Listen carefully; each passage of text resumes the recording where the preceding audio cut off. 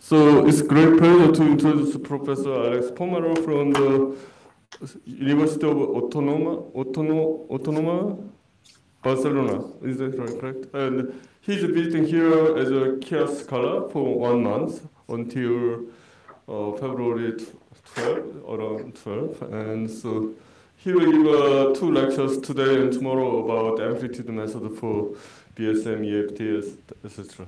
So please start. Okay, thank you. Can answer okay, the sound. Ah, sorry, forgot. Okay, now? Yeah, good. It's a pleasure to be here. Thank you for the invitation. And, uh, and, uh, and indeed, I'll be talking about uh, amplitude methods for EFTs. Okay, and, uh, and, uh, and, the idea is a little bit to show, uh, I mean, amplitude methods has been in, in I mean, it has been already uh, uh, many, many years that have been uh, discussed, especially for QCD, QCD calculation. Okay, so it's not a subject that is modern. Nevertheless, has never been used or has not been probably much appreciated in the community beyond the standard model physicists. Okay, so my idea is a little bit to, to show what uh, can we do. Okay, to show that there is uh, these techniques that have been for uh, years done in for QCD can be also useful for us. Okay, and there is a lot of uh, um, new insights that you can learn from uh, doing the calculation using these, these methods, okay? So today, uh, mostly we'll describe what is, uh, how you define effective field theory uh, via on-shell amplitudes. Okay, and I will discuss how to calculate uh, loops, okay, like how to calculate um, anomalous dimensions, okay, renormalization uh, effects of the of the Wilson coefficient of the effective field theories. Okay, and probably tomorrow I'll discuss that uh, as a, um, about positivity bounds on Wilson coefficients. Okay, this would be more or less the the the two lectures. So this is I will say what is it means effective. By EFT we, we mean usually effective field theory, but uh, we will see that this is nothing to do with fields. Okay, so.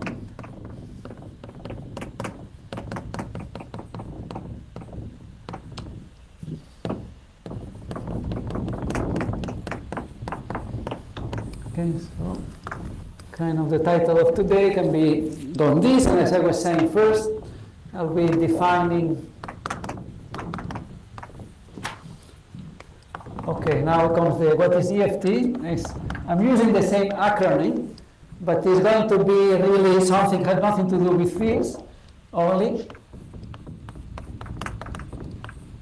with effective uh, theories.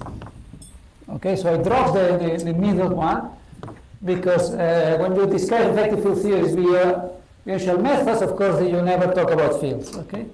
So when I say AEFT, okay, sorry to use the one, the same one uh, acronym, but uh, I mean by effective theories. Okay.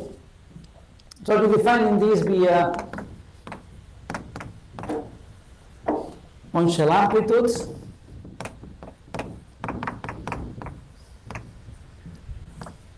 And the second part will be about, as I was saying, renormalization.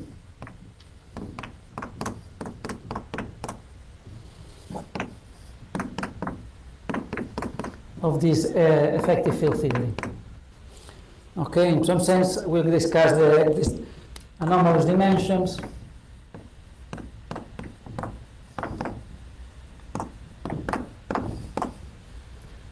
And uh, of the Wilson coefficients.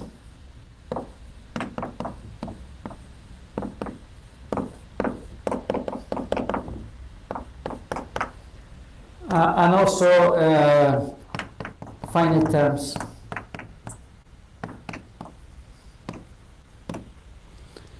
Okay. As I was saying, probably tomorrow I will discuss these positivity bounds.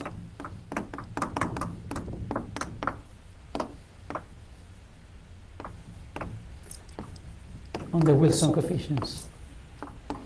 How to derive this bounds uh, using positivity, analyticity, and all these uh, things. Okay.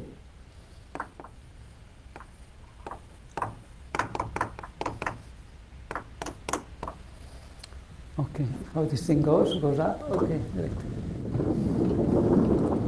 Ah. and the other comes down. Great. Okay. Okay, so, so let me start with, with number one. Okay, so um, now how we define uh, the theory, okay, or the EFT, effective theory. Okay, now in the case of the amplitude, the theory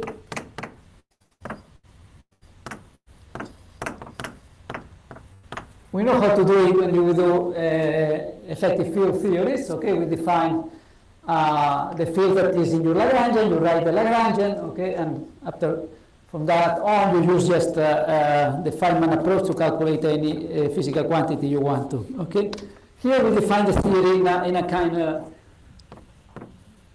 different way. Okay, so we're going to define again by by particles, not by fields. Of course, you have to tell me what particles, or you have to say to know what particles you want to incorporate in your theory.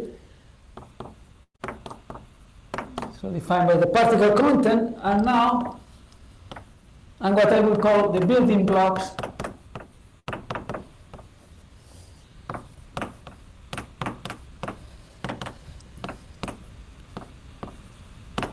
amplitudes, okay? So the theory will be defined by some kind of building blocks, amplitudes from which we will con- construct higher and higher point amplitudes. Okay, from these things will be like a, so say we play a role of what we, we, we have in a Lagrangian, like the, the operator in my Lagrangian. Okay, and of course you have global symmetries, which you have also to incorporate.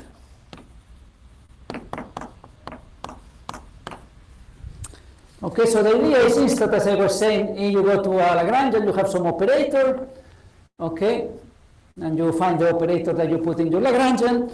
Here, instead of this operator, it will be the role played by, by an operator in the, in the effective field theory.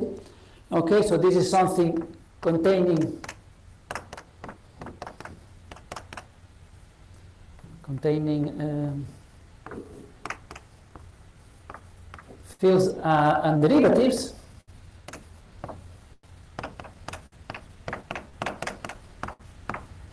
Now we move to something that are, are amplitudes, okay, that define it uh, uh, by the states, okay? It's defined by the states that are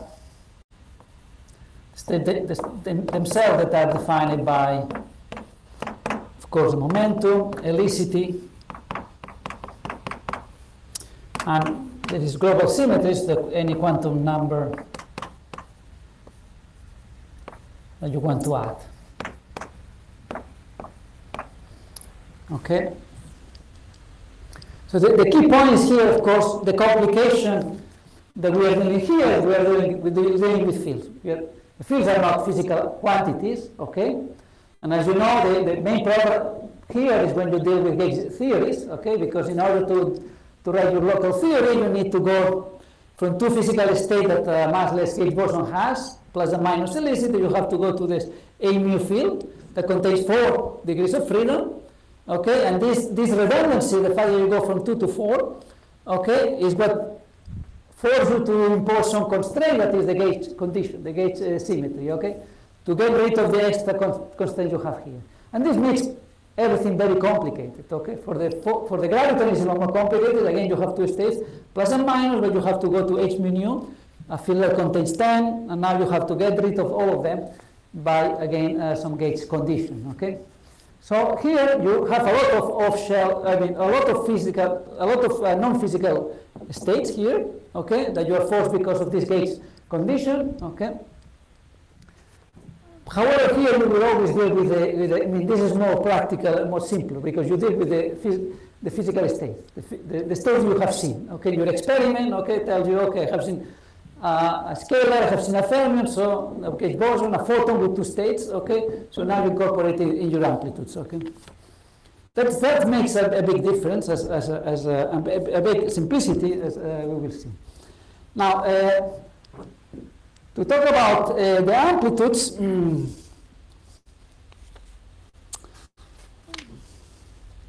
there is a there is a,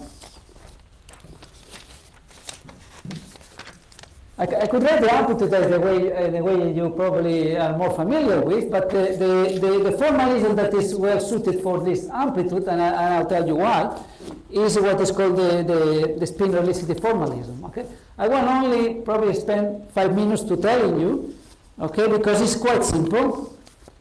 Okay.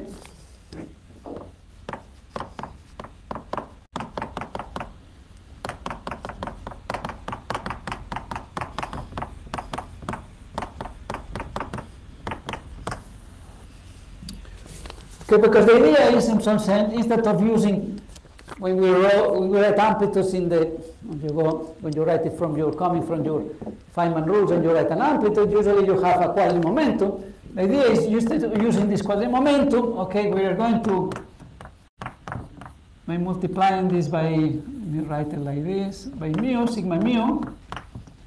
We know we have a no sorry, let me write it like this. Okay. This is a 2 by 2 matrix. I think this is a use alpha, alpha an alpha dot. Okay. And instead of writing this for momentum, I want to decompose this in, in, in spinors. Okay. Now the, the on-shell condition p squared equals zero. Okay, we'll be using uh, massless all the time. Okay, massless states.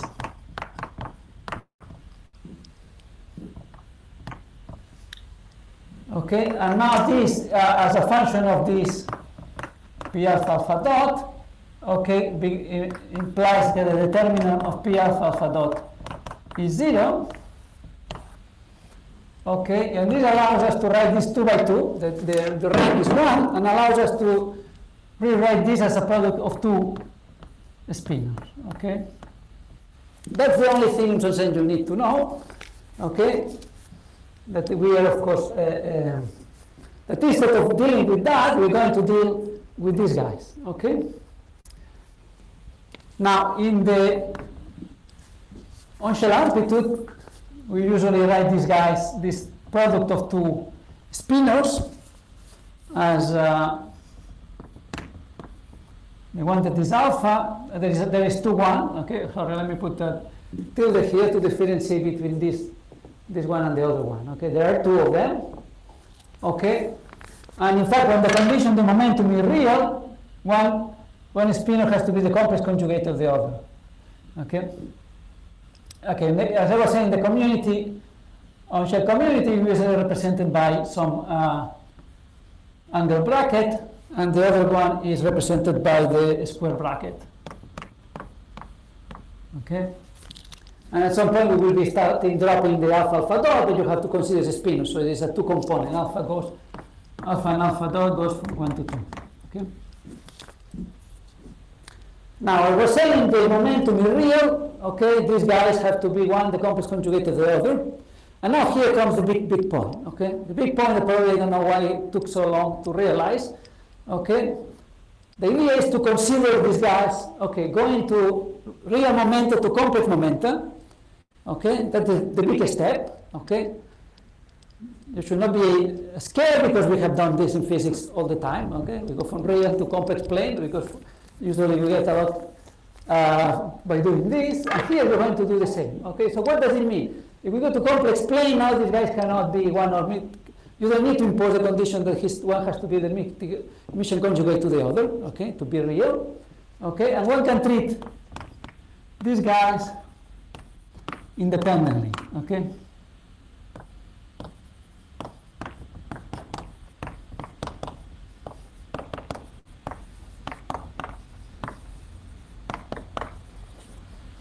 Okay, so this means that P is complex, okay?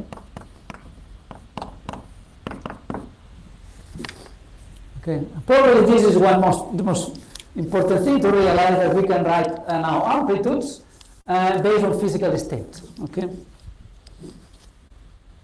Okay, what else uh, uh, can say? Okay. Okay, another property important of these guys is uh, how to transform under the little group. Okay, the little group is what the left is the, the trans, is the symmetry that leaves invariant the momentum, and you can see already that you have If you want to know how this transforms, it's obvious that it has to transform. You can just, you have kind of, you want symmetry, where you transform this as a phase, and this transform as a, a, a the complex conjugate to the phase, okay? So the, that's such a symmetry, we will leave invariant the product of the angle bracket and the, the square bracket, okay? So lambda can go to i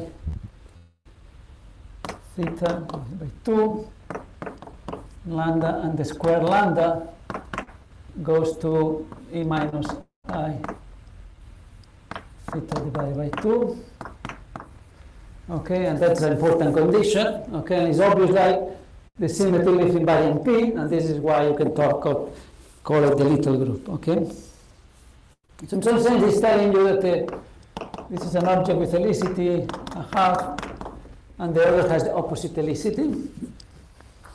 Okay? And this will be very important, very, very important. Okay, we have two very important things. We are defining this object, one, second, independently, we're going to complex momenta, and secondly, we know how this transforms under the little group, and we will use this information to derive all the amplitudes. Okay?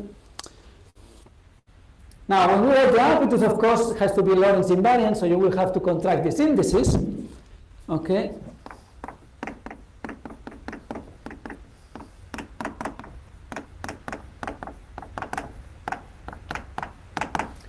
So we will write something like the bracket of a particle number one will have to be always contracted with some other particle alpha, alpha are contracted with, uh, with epsilon alpha beta. Okay, I'll write it up and down. Okay, but this is a contraction with epsilon. I can be more explicit alpha. Mm. But we write it like this, one, two, in a simple way and for the other the same thing, okay?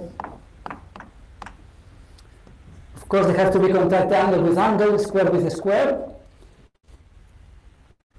Um,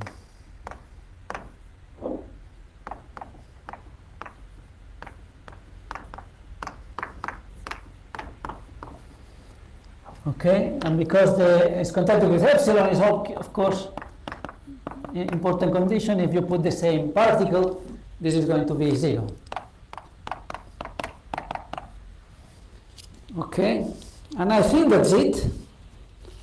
Hope I'm not leaving anything important. Okay, and that's it, everything you have to know. Now, of course, you know that you can go to your amplitude, you calculate it in your way, a Feynman. Okay, you know how to do this, this is in books. Okay, and now just, instead of writing with p mu, epsilon mu, the polarization tensor, and all these things, you can just rewrite it as a, you can rewrite the p mu or epsilon mu, you can rewrite it as spinors, and write your amplitude as spinors, okay? This you could do it, but this, this is a long path, okay? We're going to be taking a shortcut, okay? I'm not doing like this. We're going to start, right now, we know that this is our object, and we're going to guess, okay? The idea is to guess, because the guessing is very simple. The amplitude already, it has uh, uh, written in, in this language, okay? So we don't go through this part, you could do it. Okay, you could do it because you know how to calculate amplitudes from a Lagrangian, give me a Lagrangian, Feynman rules, amplitudes, and now I use this and write it as a function of spinors. Okay, that's a rewriting of your amplitudes, but we're going to do a different thing. Okay, and we're going to use these properties to start guessing the answers, okay, all the time. And that's the nice thing. No calculation, always guessing. So it's a kind of Sudoku game, okay, here all the time. Okay? And the guessing comes uh, from the little group transformation. Okay? That's the guessing. Okay? Because you know the an amplitude under the little group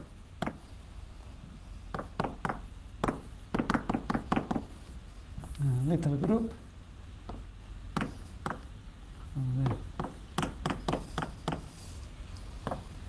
it contains an particle that I particles states I'll put it, I, call it by number, one, two, three, four. Okay, this is a particle one, particle two, okay, that has associated spinors, has a momentum, P1, that I can decompose in spinors, okay, either angle or bracket spinors. So if I have one part, have a, an amplitude of several particles, or if an helicity is lambda 1, lambda 2, under the little group, I, I know that this has to transform lambda 1, theta 1, in lambda 2, theta 2, m. Okay? And this is the property that tells me, okay, when I look for an amplitude where my, I know my state, the helicity of my states, okay, because my states are physical, they are described by helicity, okay, I'm talking always about massless guys. Okay, the, the transformation of the little group is going to fix completely the amplitude. Well, the other thing I need to know is when I write an amplitude, the dimensionality. Okay, so there are two things that will fix everything. One is the the little group transformation. Second is the dimensionality. Okay, so in particular, okay.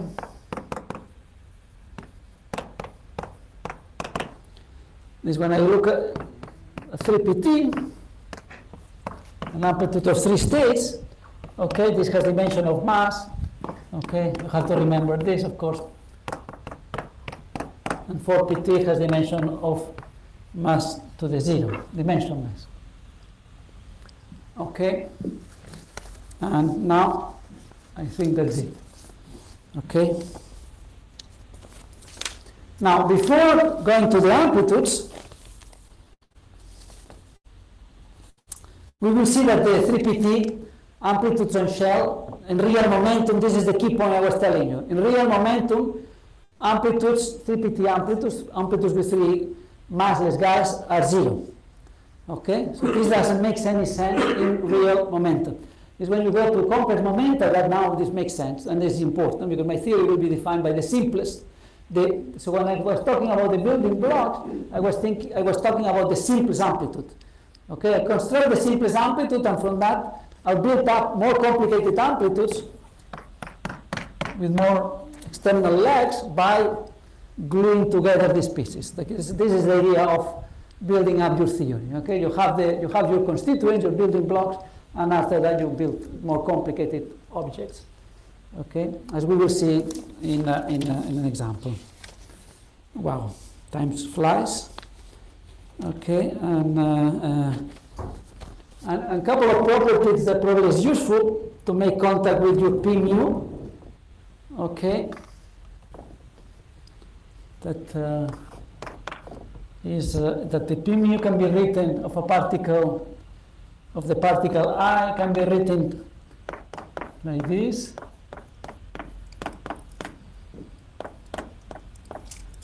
And another more important is the product pi pj. Okay, the product you, you like so much is just this thing. It's a product of contraction of angle brackets with square brackets. Okay, and give you a feeling of first the dimensionality of this thing. This is dimension one, dimension one, because this product is dimension two. Okay, and in some sense, this contraction is kind of the contraction ij is more or less square root of this thing. Okay, this is a feeling to get. Okay, with the momentum. Sorry. order of ij the scale bracket isn't JI. Ah, uh, the, the, the order, ah, the order is, yeah, these, these are conventions, but that's important, yeah, J, I, this is your, this is your, your, okay, thank you, yes. Ah, okay, thank you, yeah. Yeah, there's a lot of kind of convention, but I'm skipping a part here. Okay. Um, Uh, now, uh, there is another part uh, I want to say. Let me go back to the effective, to define effective theory. We're ta- talking about effective theories. So, what if means effective theories now from the point of view of amplitudes? Now, uh, from the point of view of Lagrangian, is very clear. What it means when I talk about effective field theory, it just means that you are going to. Let me see where I am. Okay, I mean. Okay, let's go to the idea of EFT. So from the point of view of Lagrangian, you know Lagrangian is defined by fields. Okay, I, to make it dimensionless, I divide by some scale lambda and derivatives. Okay, And you know that uh, what does it mean uh, effective field theory is just the fact that you assume that you go to low energies, okay, lower than some cutoff lambda, and now you can Taylor expand. This is the idea of effective field theory. I can always go to very low energy, and now something that was complicated, the Lagrangian that could be whatever, I don't know, I can go to low energy in some sense the same way you get Hooke law, or the way you say you get the harmonic oscillator, okay? You go to, you have a complicated potential, but okay, around the minimum, okay, oscillation around the minimum are very well defined by, by, by harmonic oscillator. Here is a similar idea. You do Taylor expansion, okay, and now you organize your, your terms according to the dimensionality of the operators. There are dimension 4, what we call the standard model, there will be terms divided by O1 over lambda with dimension 5 operators, plus 1 over lambda square, dimension 6 operator, and so on. Okay, and you know this in this expansion, always you go to very low energy. These are a small perturbation versus the important one. And this is why we call this is a, the standard model uh, when you think about as an effective field theory. There are more things, but they're suppressed uh, because probably we are below some scale lambda, that is the, uh, the, the scale associated with new physics. Okay. Now this is in, uh, in fields well known. What about in amplitudes? In amplitude is similar thing. You're going to do an expansion in, as you say here, the feeling I was telling you this expression because this tells you these these objects that you have seen many times but can be uh, strange for you are related with momentum. Okay, so if I go to the momentum, okay, and I do expansion of momentum over lambda over, over my cutoff in amplitudes.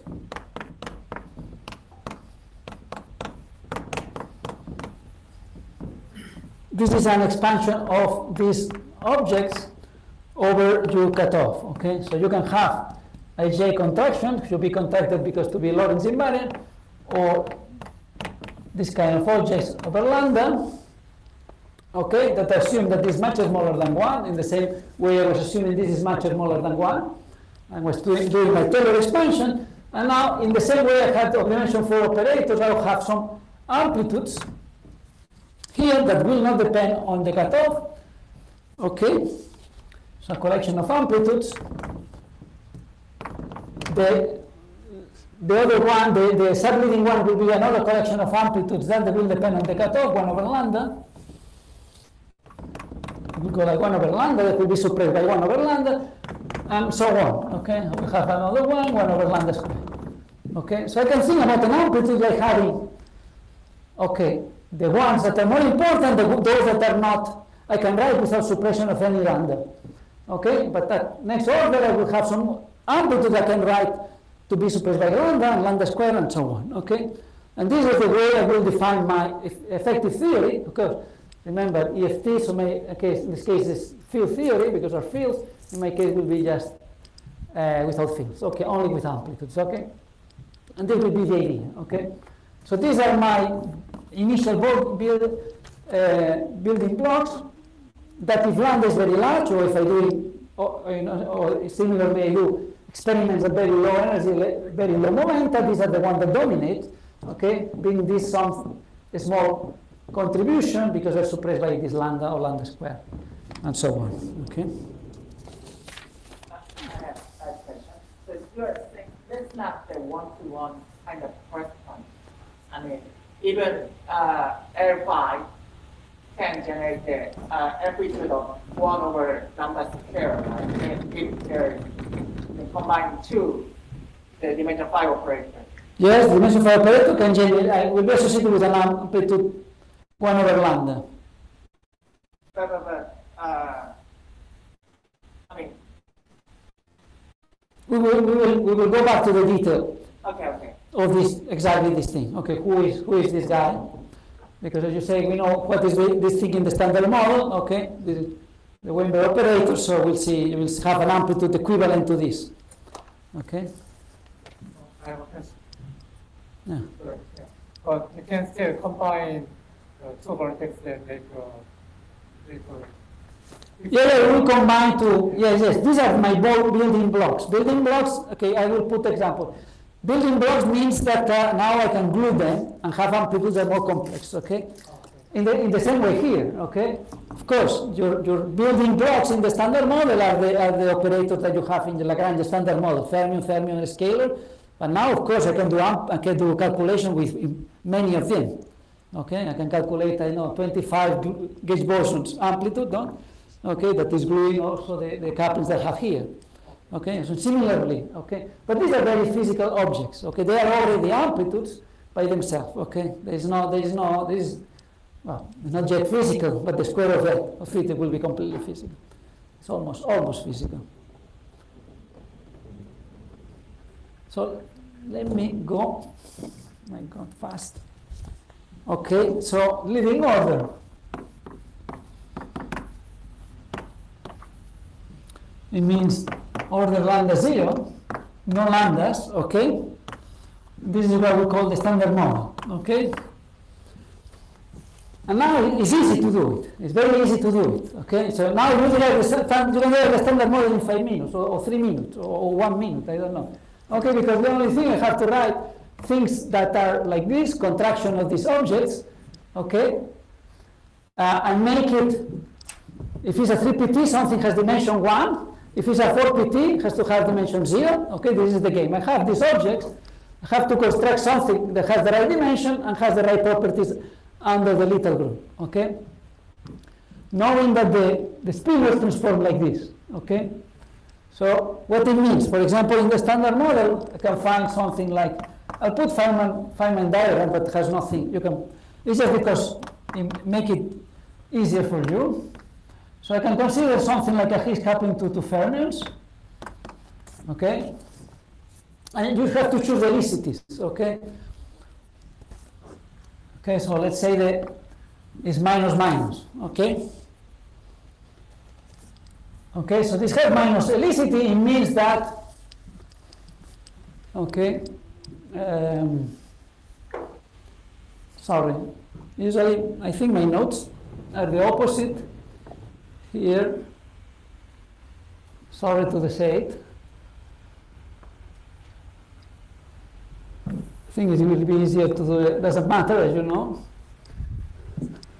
Okay, just a convention, but now to follow my, other otherwise I'll make it at some point. If I copy here, I'll get it wrong. Okay. So if this is minus minus, it means that it has to have a transformation under the little group that has to be, I have to have one of these spinors, sorry, or one of these brackets for one, and I have to have a bracket for two. I have to come, I have to make an amplitude where this is minus minus should contain the uh, uh, angle um, spinors, two angle spinors, because this is the one that transforms uh, with helicity minus a half. Okay? That's what the little group tells me. So, of course, I have to contract one by with two. That's an easy thing. Okay? Now, uh, you can check the dimensionality. This is dimension 1. Okay, this is a 3pt. Is dimension 1. Okay, so everything matches. This is it. Okay, and there is no lambda zeros. Okay? And of course, in front of this amplitude, there is a coupling. That is, of course, I call it a coupling. Okay? And that's it. This is a very simple thing, and you don't know, you don't need much. Uh, this, don't need much time. Okay, but now this is the way to start building up the standard model. Now you can also have a vector bosons. As I said, then put numbers for the particles. By the way, you can try to do other helicity, why not plus minus? And you will see I cannot do it. Helicity plays a very, very important role. There is many selection rules within with helicities, okay? But you can try. Plus minus will have to be done by, by one with a square and the other with angle. Okay, two. But you cannot contract them, okay? Angle, go with angle. Okay, transform under different SU2. Okay, a square with a square. Okay, so I cannot contract them, and this is why I don't have plus minus in the standard model. Higgs coupled to two helicity plus and minus. You will tell me, okay, I know it, this is scalarity. Yeah, yes. At this level, probably you know it, but now it become more complicated, and those, I mean, there will be many things that uh, you, don't, you don't see it in the, in the standard model Lagrange. Okay, so here again, the helicities, I put the ones I know give me a zero, because again, if you put minus minus for all of them, you will not find it. Okay, and now it tells you, I have to go faster, it tells you again Eh, a little bit of time, probably, I don't know, depending how fast you are doing Sudokus, okay, but eh, if you, it can take you a couple of minutes, okay, again, this is a 3PT, has to have dimension 1, and has to fulfill the little bit transformation, and there is only one object you can do. I'm sorry, there is an important thing I, I was missing here. When I do 3PT, it's important to say, uh, as I was saying, in on shell is zero because all the products pi, pj are zero because the particles are on shell. P, the momentum of the three, p squared is zero, and you can show then that pi times pj is zero. This is why on shell everything is zero. Why, why I'm able to write here, I forgot this, is very important, is because what is this? This is exactly this in the spinors. Or factor half want. And this has to be zero. But now going to, I was telling you before, now I can, because I took it complex momenta, the squares and the angle, the spinors and the anti-spinors, that when the momentum real have to be one uh, Hermitian conjugate of the other, so it means that if this is zero, this will be also zero. Now I relax that condition. That's the key point, okay? Because the momentum can be complex, I decouple these two spinors, and I can have that this is zero, but this is not zero. Okay, so I can fulfill this zero by imposing that the squares are zero, or vice versa, the angle. Okay? So I can have this and now write something like minus minus because I can have this, uh, the, the square is zero, but the, the angle contraction is not zero. This is the key point. Okay? This key point allows me to write this simple 3.3pt. Okay? That will define my, my standard model theory. Okay? And I can do, of course, the opposite. I can just choose this to be zero, not the other, and this will give me the other amplitude with plus plus. There is no plus minus, but of course there is a plus plus that will be with the squares. Okay. I, I usually will not talk about the one that you get by instead of using angle spinors using a square spinors. Okay, because it's just trivial to, to get. Okay. And again, this is the key point. I can define these things because of complex momenta. Okay. So now you can go with this, these other quantities. and I'm giving you the answer. Okay, to this one, you will see transform and the delete properly. There is two threes angle because this has helicity is minus but it's a vector, so it's minus one, while the other guys are minus plus a half and minus a half. Okay, because it's one, I need two of them. Okay, because the spinor has helicity minus a half. I need to transform properly in the little group, I need to have two angle spinors for the three. Okay? You can see that that's the only uh, thing. Of course, if I have a symmetry, okay, a global symmetry like in the standard model, of course I have to multiply by some invariant tensor here. For example, the will be the generator of the group if there is this JTA. So depending if I have global symmetry, like in the case of the standard model, I can multiply. I don't have any gauge symmetry doesn't play role here. There is no gauge symmetry at all. We never talk about gauge symmetry, but of course we talk about global symmetries. Okay. Now you will tell me why you, put global symmetries, don't put it. Okay, that's a good thing, you could say.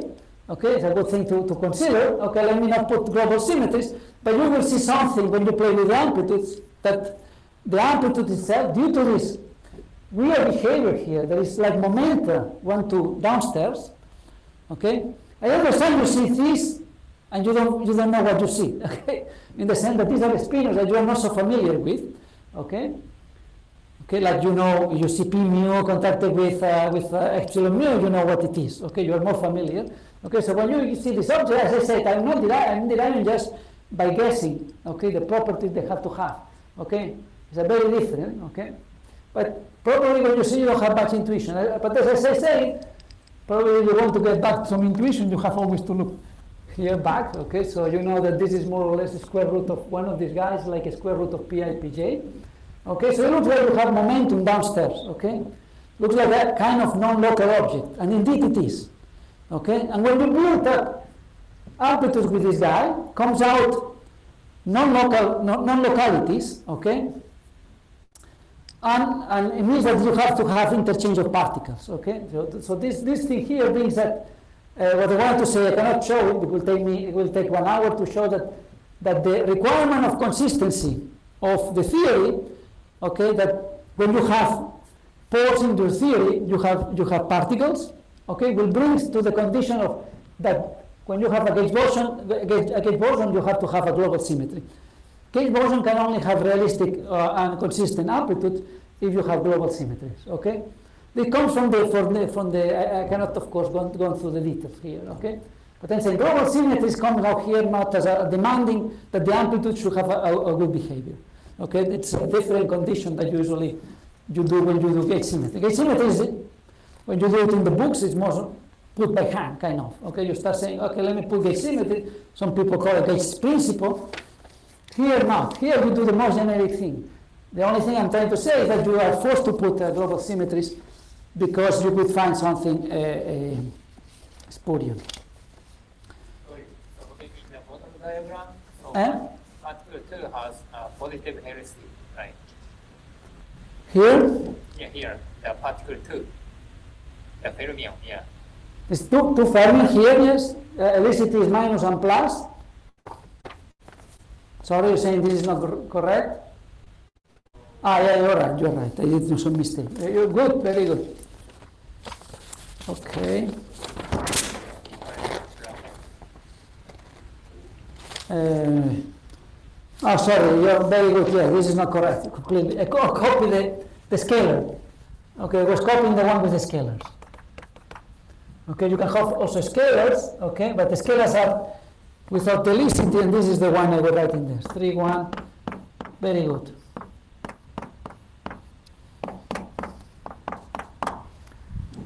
And of course, this is a 3, 1 square. 1, 2. And now has the right, yeah. Thank you, good, okay. So has the right helicities, two threes and the one. You have two ones here and one here, okay, so under the little group. Uh, if you put it downstairs, then the face is of course the opposite. Okay, the complex conjugate, so it's like one spinor. You can put the spinor down there, but now the transformation is uh, to the minus one. Okay, spinor to the minus one transform with the phase to the minus one. Okay, there. So now this has the proper transformation under the. And now you put a coupling. I call it G. And now you will tell me this is a different coupling, but again, okay, you can put G prime here, okay. Gauge, gauge invariance tells you should be this, always the same coupling. Here I'm not putting, gauge invariance. How come that should be the same coupling again? When I do amplitudes, two to two amplitudes, I will see that if I have to have the right structure, okay, consistency will force me to have the same coupling, okay. I can do slightly an example, but mm, I think we are running out of time. Uh, I had an example to show that uh, how to build that, because this is, I can continue what are the other three PTs. Um, okay, so you can have also three gauge bosons.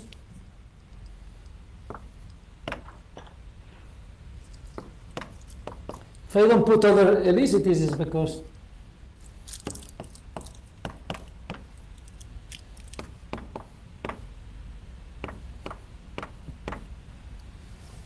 Okay. And um, again, by helicity, you will you, you, you have to be able to get uh, to get this. Uh, uh, let me go back properly here.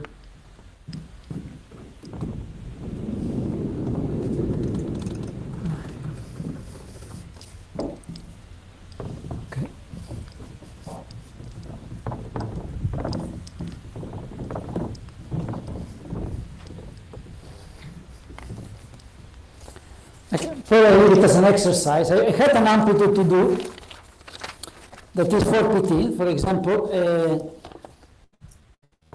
okay, so so these will be the basic ingredients that will define uh, leading order. Okay, so these amplitudes, of course, can combine into more complicated amplitudes. Okay. Okay, but uh, I was considering because I was using later, but I don't know if I'll use it at the end. This amplitude in the standard model, two fermions, a Higgs and a gauge boson. So like a W of SU2.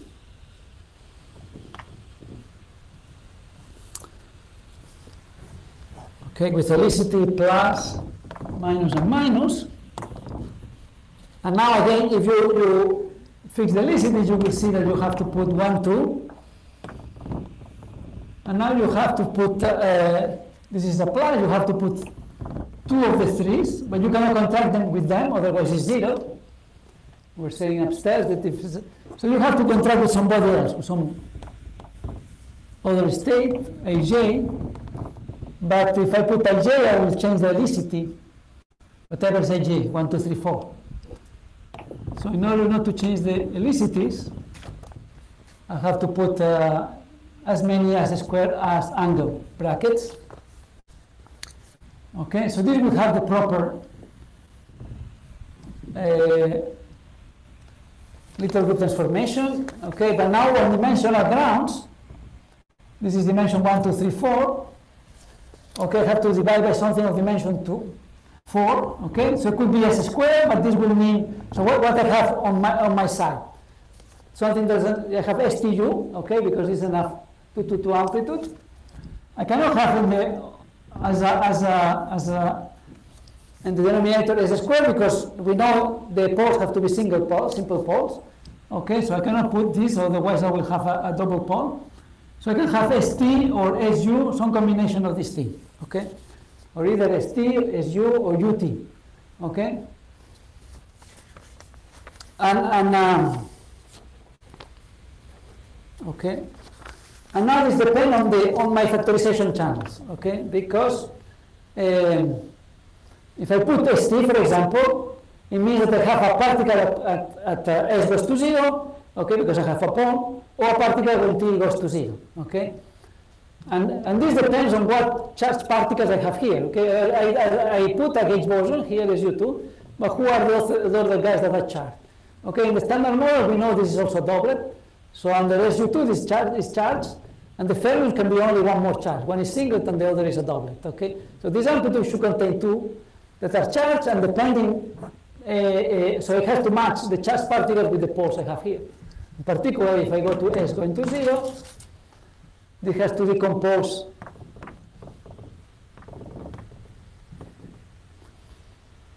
in, uh, as I was saying before, it has to decompose, you see. I go on shell of the, there should be a particle in the S channel, that of course is the, is the, is the scalar, and in fact is the Higgs. Okay, and now you have to check that the, when S go to zero, this amplitude has the right property that decompose into that is that uh, into two 3pts. The two 3pts I have there. Okay. This is the requirement I was telling you about consistency. When I built up some 4pt, 5pt, they can, they, you will forced to have poles. Okay, like here. By dimensionality, have to put things in the uh, denominator, poles, that will have to be associated to particles. If you have a don't introduce your particle, you are going to lose unitarity. Okay, because you can produce something that you didn't include. It's like missing information that goes away. Okay, so condition of unitarity is every pole you have to have a particle that is in your spectrum. Okay, that you consider from the beginning. Okay, and these are the requirements that brings you to to further the couplings, as I was saying, brings you all these requirements brings you to the in fact also fix what it should be i and j. Okay, so this is called factorization. Okay, so this is factorization. It should factorize in 4pt, it should factorize in 3pts when you go on shell. So this factorization, and it should match, okay? You, it should match these two guys there. You plug it there, it should, you should prove this, that uh, has the proper factorization. And force you this ij to be 4 and, and 2, okay? Because a priori you didn't know what is this, and also you didn't know what constant is in front. But now factorization again forces you this, but also for- forces you what is the constant. It's not arbitrary. It should be the product of these two ones. Okay, so a Yukawa and against coupling. Okay. And if it's uh, a SU2, I have a, here I had uh, a, a TAJ generator. I had a symmetry. Okay. So this is the way you build up. Okay, you will try to find the 4PT more generic, but you see, if it's dimensionless, has to have poles. Okay, and poles means that I have to factorize. Okay, and now everything comes to be constrained. Okay, but a priori, you see, in the standard model, and when I do this, when I use this thing, in fact, I derive this from factorization. This amplitude has a very simple form.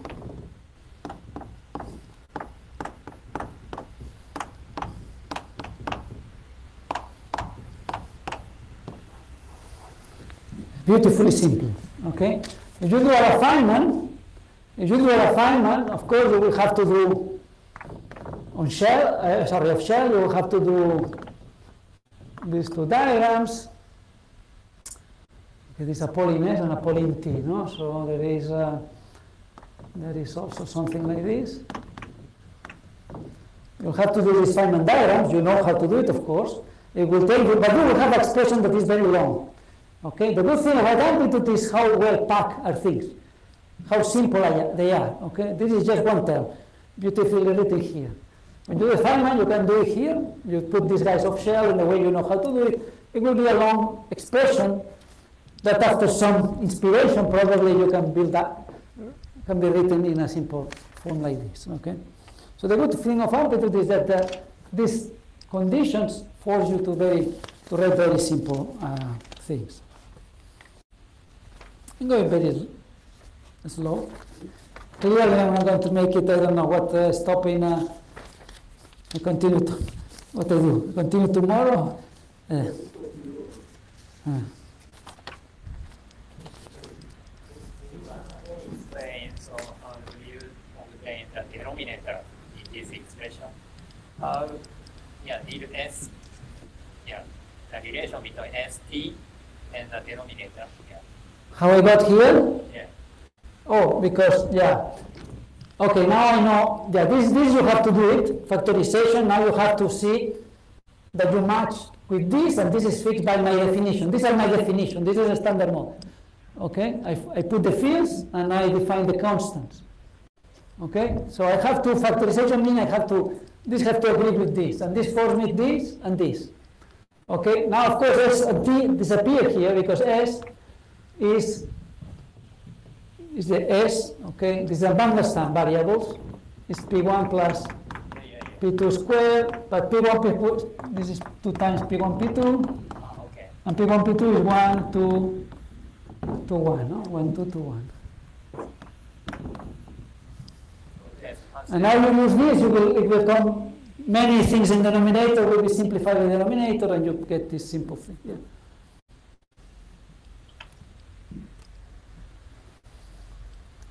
Okay.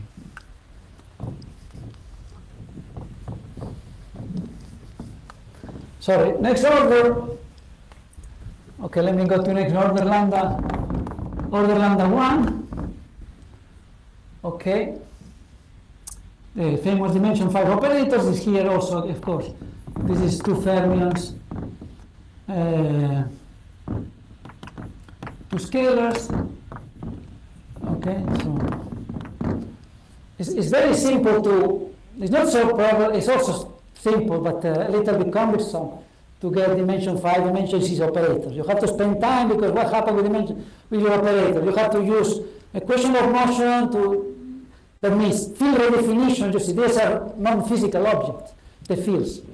It's a mathematical object, so you know you can redefine things, okay? And this is why it got, it got some years some, to, to the end get a basis that was uh, not redundant. People had the beginning, when trying to write the operator of the standard model, the higher dimension operator, they were getting a basis were redundant. They didn't realize that it was a redefinition of field, were simplifying. Okay, here is kind of more simple, right? I only have to do some brackets, you see it's an expansion in brackets and this thing over lambda, okay, so, so I only go, I go and I write them with the right dimensions, okay? This is a 4pt, it has to be dimensionless, okay? And this case has to be, this is minus minus, this is 1, 2. Okay, so this is correspondent with the dimension 5 operator of the standard model. And this is the only one. You can spend time, this only one, and the, for the lambda square. Okay, there are several of them. Okay, but I only wanted to pin down few of them. Well, lambda 1 over lambda, eh? sorry. Sorry, not two. Okay, I wanted to pin down few of them. For example, you can have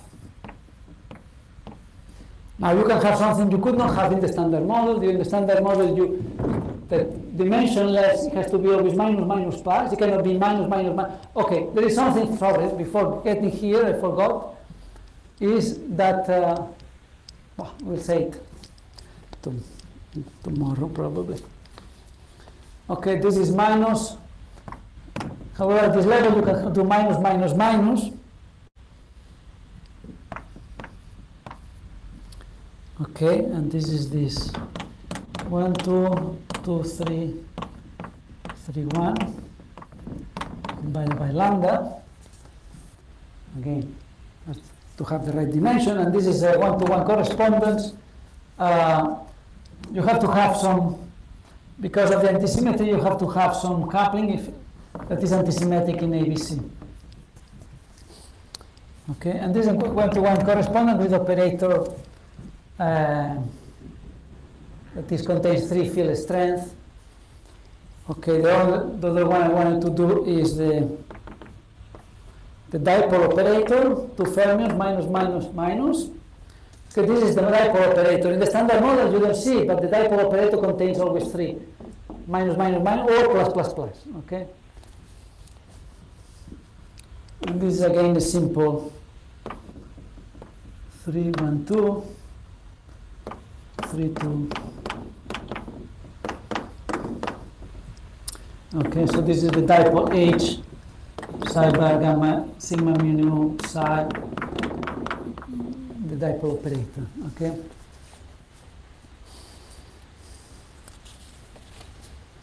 And, and so on okay? So I don't go I don't continue further but, I, but you see. It can also be brackets with angle bracket with square brackets okay other combinations and of course at dimension 6 level you have several I think four or five classes of them okay forgot now Okay, how many? But uh, you have some. Cla- but it's just a question how many brackets and square you can put the numerator, okay, uh, suppressed by lambda square to make it something with the right dimension. If it's a 3pt, it has to be dimension 1. This is dimension 1. Sorry. Thank you. Good. And this has to be also dimension, this is 4pt, dimension 0, has dimension 0, okay. Yeah, dimensionality is important. Okay, so you get all the typos by uh, fixing dimensionality. Okay. Mm. Um, I'm going to slow to uh, to show how to how to write this thing. Okay, so what does it mean is now when I go to order one over lambda, I have more building blocks. Okay? You see, when I go to order 1 over lambda, I have a new scale. Okay, the, the, the key point is I have a new scale, so I can build up something with the right dimension using this lambda. Okay, a dimension 1 over lambda square. Of course, these are suppressed because these are momentum over lambda square, so this is very small, suppressed by lambda. Lambda is very large, this is very small as respect to the standard model. Okay, but the fact that I put a new scale in the denominator allows me to, to, to write more building blocks. Okay, now my theory is the standard model dimension 4, okay, what we call dimension 4, sorry. So amplitudes with, without lambda, now next to leading order amplitudes with 1 over lambda, and next next to leading order amplitudes 1, 1 over lambda squared. Okay, and these are building blocks again that which I can plug in and do amplitudes more complicated, or 1 over lambda, lambda squared, or lambda 1 over lambda 3, whatever you want to do, okay? But these define my bu- building blocks, okay? So I have to put couplings in front of them, okay? That are the Wilson coefficients, okay? So there will be C1, C2, C3 here. Okay, same I was putting in the standard model. I put couplings in front of them, strength, that is measured by a dimensionless coupling, okay?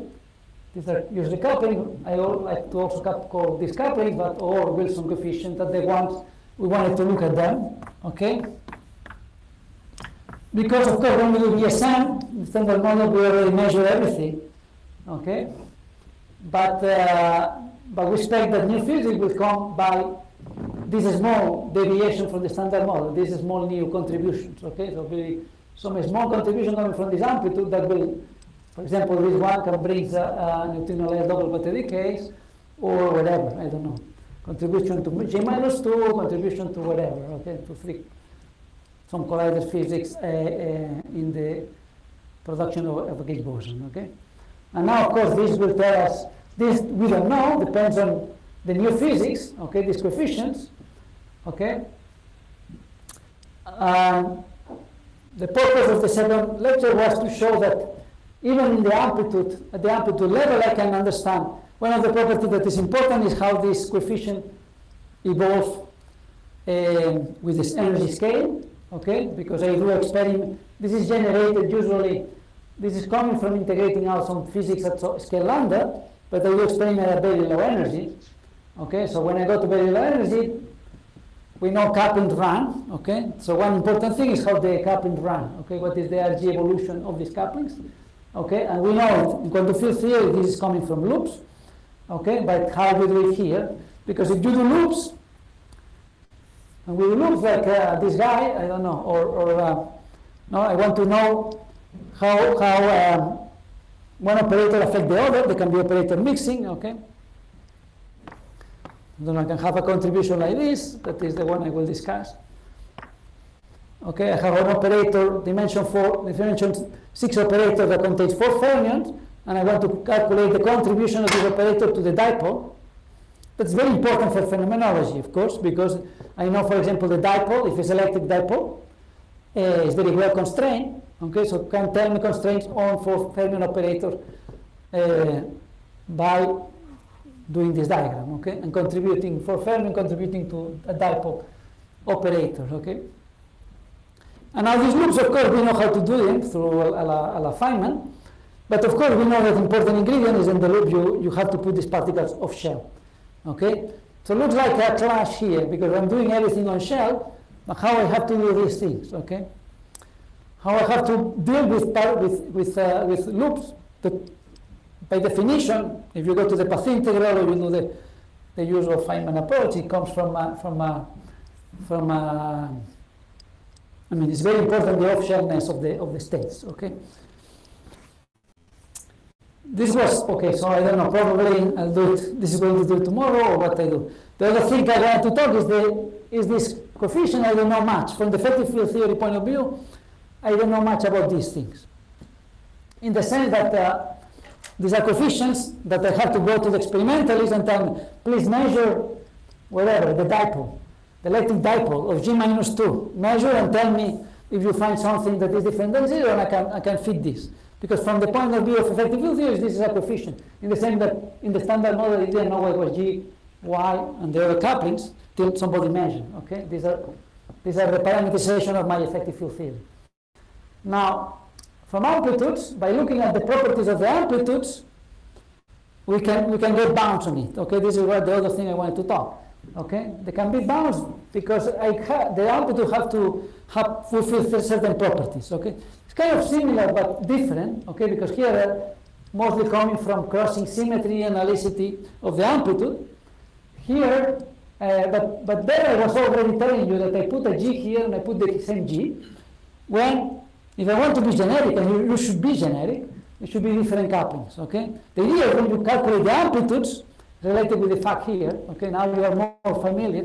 When I go with the amplitudes, I have to, when I build higher point amplitudes, I have poles. And the poles give me interchange of particles, I have to decompose, factorize in lower PT amplitudes, okay? And these conditions force me to, to Okay, this condition to have the proper uh, uh, factorization force me to coupling. If I do, I could do this exercise, will force me the coupling to be equal. So the fact that you demand something physical on this amplitude, like proper factorization, give me a relation between the couplings here. Okay. Here, similar thing will happen. Okay, but not exactly like this one. Okay, just from the properties of the amplitude, I will see that this this coefficient cannot be arbitrary. Okay, they are bounded in some regions. Okay, people call it uh, it be, form some kind of uh, EFT headroom thing. Okay, so you see this is contain contain con, contain has to be contained in a small uh, uh, parameter space, and then this is now I have to decide what to talk tomorrow. Okay, the renormalization of these things or the bounding from the from the requirement of the amplitude, but. Uh, Okay, probably stop here and uh, I'll see what I'll do. Any questions? Yeah. Okay, so let me check my understanding. So,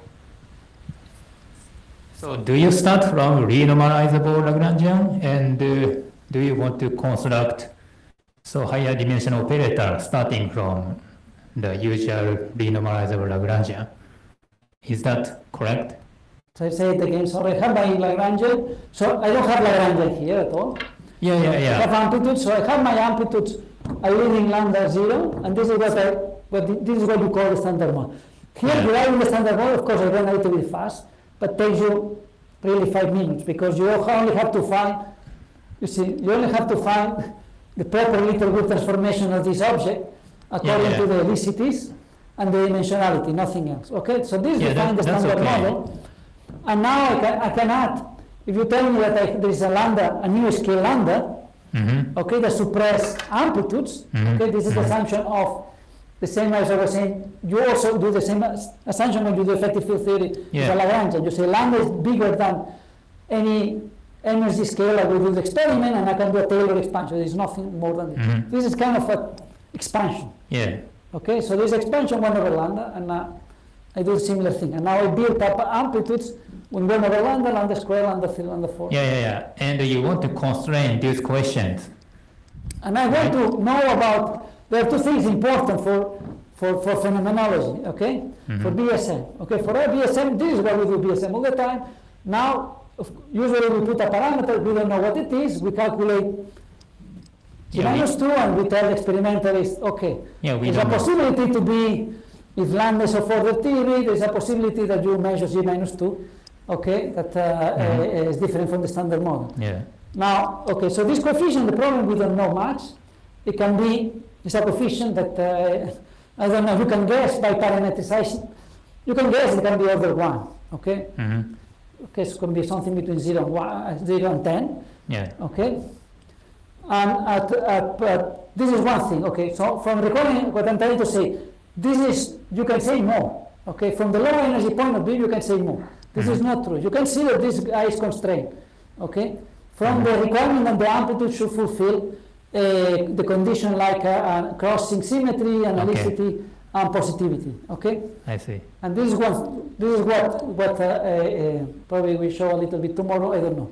The other property, important property I was saying is that also I, we are interested in the running of the couplings. Okay. We know it's very important already in the standard model. Okay, because I do experiment at different scales. Okay, and the, So the, the running that is logarithmic, we know is logarithmic when we do quantum field theory. Sometimes brings important uh, Okay. uh, uh, changes. Okay, So you put a few so natural so assumptions or some conditions to constrain the Wilson coefficient, such as So there are two things. One, I can, on the, already at the tree level, I can put constraints on this. Mhm, Another thing is how to do loops, how to do quantum corrections. mhm. Because what I was saying is that from the point of view of quantum field theory, everybody knows. Okay, I do loops, I do Feynman rules, I close loops, I do this. And it's important these guys are o- uh, uh, off shell. Mhm. So bring the question here that uh, what you do, because everything here is on shell. The simplicity of this construction is to be on shell. I, uh, my gauge boson has only two degrees of freedom, plus and minus helicity one, okay? But we know what we do probably here, but another, on other diagram that can have, I don't know, gauge boson, contribution like the gauge boson Okay, we know that uh, when you do this, of course you have to fix the gauge, but usually you have many degrees of freedom that are not Mhm. physical. Propagating here is important when you do these things, okay? Okay. I cannot put here only, you will do it wrongly, completely wrongly, you only put the, the, the plus and minus state, the Mhm. physical state, when you do these calculations, okay? Now, how I handle this problem, okay? Okay. Now, there should be another way to, should, okay, Yeah. there is a way to do it also on shell. This is my point that I wanted to, to say. Thanks. There's also a way to calculate these things on shell, okay? And Probably, I don't know, do it. Uh,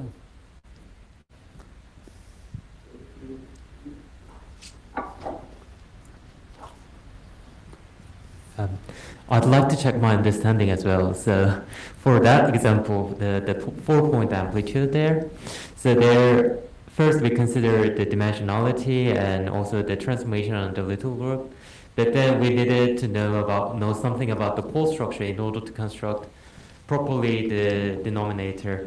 So, in case we don't know the exact pole structure, then what can we try? in case we don't have what? we don't know the exact pole structure, pole structure of the amplitudes, then how, how shall I try to write down the amplitude in terms of them? Is there are no pole structure, here it should be pole always. Because you see, by, by the little group, I was forced to put the 3 is, is plus 1, okay, I had to put do, 2 square for the 3, and the 1, 2 was minus minus, I was able to do this, okay? Yeah, yeah. The 3 is not contracted, so I had to do this thing. Has to contact it with IJ, but I don't know. I put IJ because it has to be one of the other guys. I didn't know which one. Okay, has to contact with other guys that if this guy don't, I don't want to change the, the, the little group transformation, the I should come like a, a square and an angle, okay? This doesn't change the, the little, transform, little group transformation of the I or the J, okay? When I force this, and this is what will happen upwards, do whatever amplitude you like, fix the little group, you will have something, a lot of things in the numerator. Okay, and now the denominator, what, what else you have, what your variables. Okay, now I cannot put, you see, I cannot, I mean, I, I can write things like this, but that is what I, I, I- I already went to the, to the Mandelstam variables, because I know Mandels- Mandelstam variables don't transform into the little group, they are singlets, okay? So, so otherwise you could say, you can add things like this, ij, ij, that in some sense are similar to STU, okay, Ah. because of this property. Okay, Okay, okay. So I can always try with this, this, and then and then rewrite them in terms of Mandelstam variables. Eh? if I- So I can always try with these variables and then rewrite them in terms of Mandelstam variables at the end. yeah, these are some always variable because this is because p squared is zero. Okay, so this is always pi plus pj squared. Okay, so this is st or u. Okay, because p, p the pro- problem is p squared is zero. We're doing massless theory. So at the end of the day, yeah, you could, I, I was doing this, uh, explaining here. You can put st or u. Two of them, because it has to be dimension four. You're going to put s squared. This is very important. S squared is a double pole. Okay? I cannot interpret a double pole because you, you, you have a 1 over s. It will mean that the coupling goes 1 over s. Okay, diverging when, they, when you go on shell. Okay? And I have, it's interesting to understand what possibility have st, t, and now you, you could think what are the other amplitudes. And will depend, as I said, what are the factorization channels. You, because you are changing the poles. So you could have a here, in this case I have a S0, I have a, has to have a scalar here. But if I want, I don't want to put S, it will mean that the Higgs is not, uh, is not charged. Okay, I don't have a, I cannot go on shell and get a Higgs as an intercha- interchange state. Yeah, thank you. Um, I have a kind of stupid question. So, with the Weinberg operator, in the if you just have amplitudes, is there a way to relate it to neutrino mass or not? Yeah, yeah, it's, it's the same thing. The physics is, physics is the same, of course. Should be the same, otherwise, but, but, uh, of course. Because with with amplitudes, aren't the masses just uh, things you have to input from measurements, kind of? Ah, okay, okay, sorry, I understand now your point. Okay, you're saying that you go, how do you go to, okay, that's a more difficult thing. Okay, you're saying, how do you go to massive state? Yes, yeah, that's, sorry, sorry, yeah, yeah, this is a different, yeah, yeah, sorry, yeah. Yeah, because you see, when you go to, we say, oh, this can go to um, get the VEV, and now I have a, a fermion mass. Yeah, this is a this is a this is a this is not an amplitude. Okay, this is a 2pt. Okay, this is not a- 3pt. I can handle 2pt. And now, of course, is because what is happening is that the neutrino is getting a mass. Okay, if the neutrino is getting a mass, uh, you have to change completely the. I mean, it's not so simple because the simplicity here comes from p square zero that tells me the determinant of this p is, is zero, is rank one, and I can write it as a product of two of, of these spinors and the lambda tilde. p square is non-zero, I need two sets of spinors. Okay, and now becomes a little bit more complicated for massive particles. Okay, so the extreme simplicity of this thing is that in undoubtedly for massless particles, for massive, is a little bit more complicated. Okay, I will not say it's not worth to do it. I don't know. Okay, and saying, but is, is uh, because also massive is even in the standard model or Lagrangian become more complicated, but probably not so much. Okay, but the step here for massless to massive probably brings a double of spinors, and you have to treat them. Okay, but it will not be so simple like this when you do amplitude if the guys were massive. Okay, because this will not be described by by the momentum is not described by one spinors, but by two sets. If I remember correctly, there are already some studies, even in the massive dense. Oh, of course, no, no, no. I'm saying it can be done. It has been done. There's a lot of in the beer, in the in the QCD community, the people were doing it already. Okay, in the the BSM community, uh, yeah, there was. I mean, uh, probably. I mean, this was long, long ago how to do it massive, but probably the paper of Arkani-Hamed. Uh, I mean, Yuan and, and, and other people. I mean, the, were, were doing it in the elaborating a lot the formalism of massive, how to do amplitudes, how to write it. Okay, no, no, it's it's, uh, it's doable. It's not uh, it's not. Uh, it's, it's, it's a little bit so, certain certain things are a little bit more complicated because you see the the, the and, and less constraining. You see the, the, the a lot of constraints that come here are coming from the gauge boson. Okay, the gauge boson are very. When you look at interaction of gauge boson, it's due to the fact you see. I like to show this thing because it's, it's where you appreciate gauge spin one versus spin zero and spin a half. Spin zero and a half interactions, really boring. Okay? They look like a contact interaction. Okay? And, and this is why this formalism doesn't gain much when you do uh, you do you do, you do spin a half, spin zero, spin a half states. It's when you go to gauge boson, spin one or spin two, if even better spin two. 2 is a mess, graviton is a mess in Lagrangian. Here is more constraining. Here, when you put, you start putting a spin 1, something comes in the denominator. Okay, in order to make a thing comes there. Okay, and then that what makes a lot of interest because when you do 4pt, will come poles, and now you have to fulfill the condition. Poles have to be physical, blah, blah, blah, and now you start having constraint. Okay, this is why it comes the beauty that now the coupling should be equal to have or every you have a pole, you have to have a particle factorization. These conditions are, are important for spin 1 and spin 2. Okay? But uh, yeah. we do the factorization for, uh, let's suppose, four Fermi operators, and we don't know the mediator can be a uh, vector boson or a scalar. So if we don't know the mediator, whether it can be a scalar or a uh, vector boson, then do we have to take all the possibilities, or I mean, how do you deal that kind of uh, four-point interactions then? Um, Uh, I mean, also here. yeah. Uh, also here is, uh, you see, uh, uh, I don't know if, if I understand. You say for four fermions, but I think it's the same, I don't know if it's the same question here. Uh, uh, uh, but uh, are you asking how I know the intermediate particles or something like this? Don't know the intermediate particle, No, I, in fact, I, I uh, a priori, I could start doing this. I could start saying, okay, I'm going to build up this. You see, I could start without knowing anything, and oh, let me do the 4pt. It has to be like this. And now I see a polynesian T. Okay? That's it, that's the, the, the good thing. Okay? And now, of course, this is something I, I, I chose, as I told you. There are three possibilities. Okay? That are related with the fact who is going to be interchanging. Okay, because here, you see, uh, I have also several possibilities. Okay, this is a SU2. There's a global symmetry, okay? There's a global SU2 symmetry, okay, so the gauge boson. So in order to be an invariant, you, you have to tell me who is charged. Okay? There's a, there's a, my theory from the beginning, if you come with this uh, second question, I'll tell you, yes, okay. But if this guy is a, is a, is a, is a triplet under SU2, there should be other guys charged, okay? And now you have to tell me this, I cannot tell you. Okay, you tell me, oh, the Higgs and a fermion are also are doublets.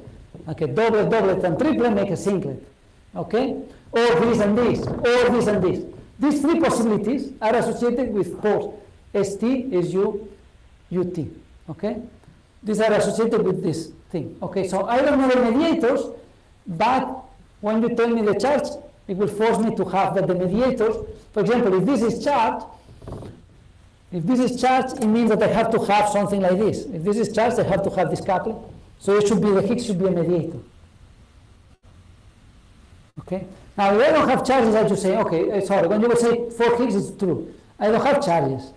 But I have, still I have, eh, no, because 4 four, uh, sorry, you, you tell me four fermions. Yeah. For two to two, two, two. Fermion, okay. It's true that in the case charges will not help me, but now probably you have freedom to choose the poles, where are the poles. And depending where you choose where the poles, you, you, you will have, a, well, let me see there. Probably, probably there, no, you cannot choose, uh, we can do it. we can do it, okay? And we can see what, what you have to put in the denominator, what poles you have. But, uh, but probably, um, okay, you have to first see, we can do it later. Okay, we can do it later, yes. It's, it's a good exercise. It will take five minutes. First thing, important helicities. If you tell me helicities ma- plus minus minus here, minus minus minus minus, I know I know it has to be interchanged by a Higgs. The only factorization, the only factorization to the fermion is the is the if it's minus minus minus minus minus is a scalar because the gauge boson is always minus four. Okay. Okay, so you tell me the factorization, all the information is almost there. Okay, I will be forced to put a, put a Higgs extension. You see, everything is constrained. Okay, so when I write the amplitude, yeah, I can see. Specify the helicity, then you already know what is the mediator. Eh? So if we specify the helicity, you already know what should be the mediator in the in between. So if you specify the uh, helicities in the final states or by the out, Yeah, out- yeah, exactly. out- So wait, now you tell me, you have to tell me, okay, I want to do is minus, minus, minus, Yeah, then it have to be a scalar. Now it has to be scalar. Yeah. If it's minus plus plus, now probably yes, you have to, there are two possibilities. Okay, can be, mm, yeah, can be a gauge boson interchanging in this channel. A gauge boson in there. Or also Higgs in the channel, depends, yeah, minus minus plus plus. Okay. Thank you. So any other questions from the Zoom audience first? Zoom audience?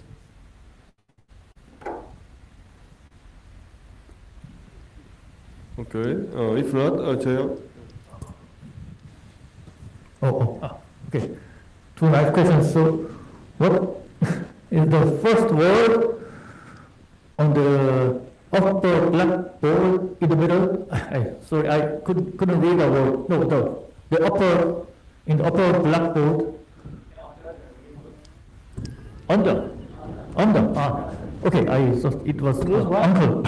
Under. it was, okay, sorry. Under. Uh, under, yes. Ah, sorry, okay. Um, yeah, yeah. Sorry, my, my Under eyesight is not very good. yeah, under, yeah, transformation under the little group, yeah. And the, and the second question, uh, so it seems to me that this uh, method is to is for guess, uh, guessing or figuring out uh, the answer of a dia- diagrammatic calculation. I'm not saying that, uh, it's not a guessing, Uh-huh. it's that uh, it's so constraining Uh-huh. that you don't have to, that you, you can just jump there and say, not calculated, just all the condition, little group or whatever, fix everything. Okay. That's uh, a good thing. So, so you see, I don't have to go through the process Okay. of constructing, yeah, that the, the little group dimensionality Uh-huh. Factorization just tells you that there is only the, you can know the answer. Ah. And the answer comes, after, of course, there's some exercise a little bit, differently from the one you do from five numbers, but brings you with something quite compact and, and, and nice. Okay, okay.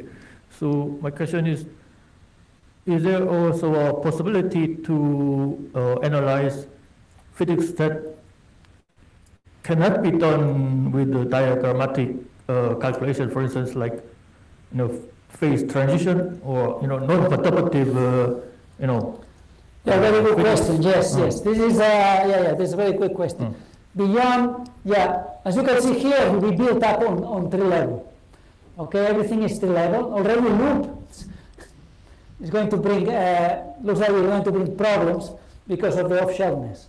Okay, and we'll discuss that loops can be done, still on shell. The on-shell formalism uh, can be extended to do this kind of loops. Okay, this was the second part that I thought I could uh, cover today, but uh, I'll cover tomorrow. Okay, we'll see what we do. But number non-perturbable means infinite loops, no?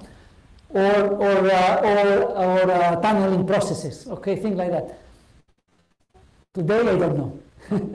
Okay. Question: No, no. That doesn't look like yeah. Still, the Lagrangian probably is still the, the way we know how to do it. Okay, we know how to. Here I don't know. Yeah. Okay. I'm not saying that probably if you think harder, there is a way. In the same that in the same way we found how to do it for loops. Now we know how to do it on shell, even that looks like impossible.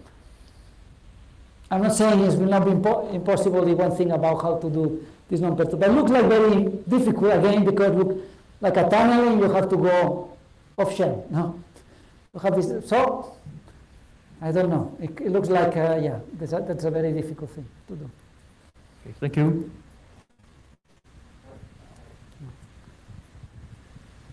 Uh, first, I understand that this this method is called spinor-helicity formalism, right? Maybe. Yeah.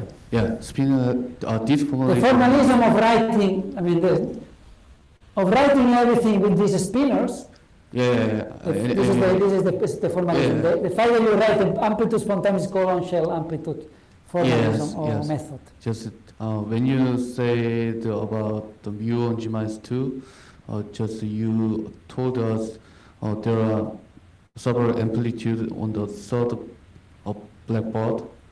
Um, that just uh, at that time I got a question that uh, what is the remarkable advantage uh, compared to the usual effective field theory? Sorry. So, uh, so I mean, I mean, uh, we can construct the effective uh, Lagrangian. Then we then also we can work out the analysis of g minus two. But just uh, by listening your comments to others, I realized that um, this formalism can impose the maximal constraints on the amplitude, right? This is the advantage when compared to the usual effective field theory analysis, right? constraints. Yeah, constraints. Just, just um, uh, I, I, I'm going to tell you again. No, Yeah. what, what kind of constraint you refer? The Yeah. ones I was mentioning that we discuss tomorrow, or Uh, maybe yes, yes. no? I mean, because um, uh, uh, the the of course the to calculate everything we, we, we know how to the two methods you get when you go to physics agree. Yeah, same physics. Eh? Yeah. Of course, they give the same physics, otherwise uh, it would be bad, no? Okay? The, to me, the selling why this is important, uh, um, probably will come tomorrow a little bit, okay? Yeah, Well, why this thing? Because there's much money. Inf- First, to me, I think this is much simpler. Yeah, If you want to go, I always say experimentally, the probably will not be, as, as he was asking, we are also interested in physics beyond perturbative physics, okay? And so probably at the end we have to go to Lagrangian. But if you're interested in calculating amplitudes at the level, the simplicity of this method is, to me, striking, comparing with, uh, you see, going to Lagrangian, defining what is gauge invariance, defining what gauge fixing, mm, okay, all this effort we do, okay? Uh, complicated when Yeah. to me this is much clearer and always it's confusing. I don't know when the people come and say, "Oh, gauge invariance," you start wondering, is this the only way to do it? mm, Here you see, you see, you you get the most generic thing. Okay, you start with the most generic thing, and you get it straightforwardly. If you can build an amplitude with the right properties, put it in in your theory. mm, Okay, when you do this gauge invariance, you have to put the gauge invariance is complicated. Okay, I have to gauge invariance. How I no? Sometimes okay, and I understand probably you understand very well that Yeah, it's invariant some kind of redundancy, but it looks always it looked to me always that is uh, it requires all this effort. Okay, of the off-shellness of the of the Lagrangian. Okay, when you go on shell, this is very very much simpler. So to me, if you want to do perturbation theory, to me, I mean this is striking mm, much much simpler. Okay. When we go to, to loops, yeah, yeah. Uh, we go tomorrow. We'll see that many of the loops that you do, you get zeros. Okay. Mm, For example, this this one you calculate this correct distribution of four fermion plus plus minus okay with uh, with some helicities to the dipole, and you get zeros. This has been known for years, but mm, never never understood. There is no symmetry. mm, Nothing. Okay? From amplitude, you will see that there is some selection rules. Okay? Some symmetries that tell you more information. Uh, Okay? You explain many, many zeros that you found in calculating these things. Okay? And you never, and nobody got it from the, from the Feynman approach. For the Feynman, you have to calculate it. Okay? Nobody will tell you this diagram is zero. Okay? And there are many, many cases, even complicated. You add a lot of Feynman diagram and you get zero at the end. And nobody understood why. Okay? And uh, the, the, the, the, mechanism, the, the formalism, the method, the ancient method allows you to, to, to know this. The other thing we were talking, this is something important to me at the loop level. The other thing we were talking is to put bounds on these things. Uh, but this will come not from, uh, this will come by, by demanding that the amplitudes, uh, um, you could also do, do it a la, a la, if you use the quantum field theory. You just calculate some amplitude and you will see that they don't have the, the right properties like analyticity or positivity or crossing symmetry. Okay? This Oh. probably we see tomorrow and we'll see what.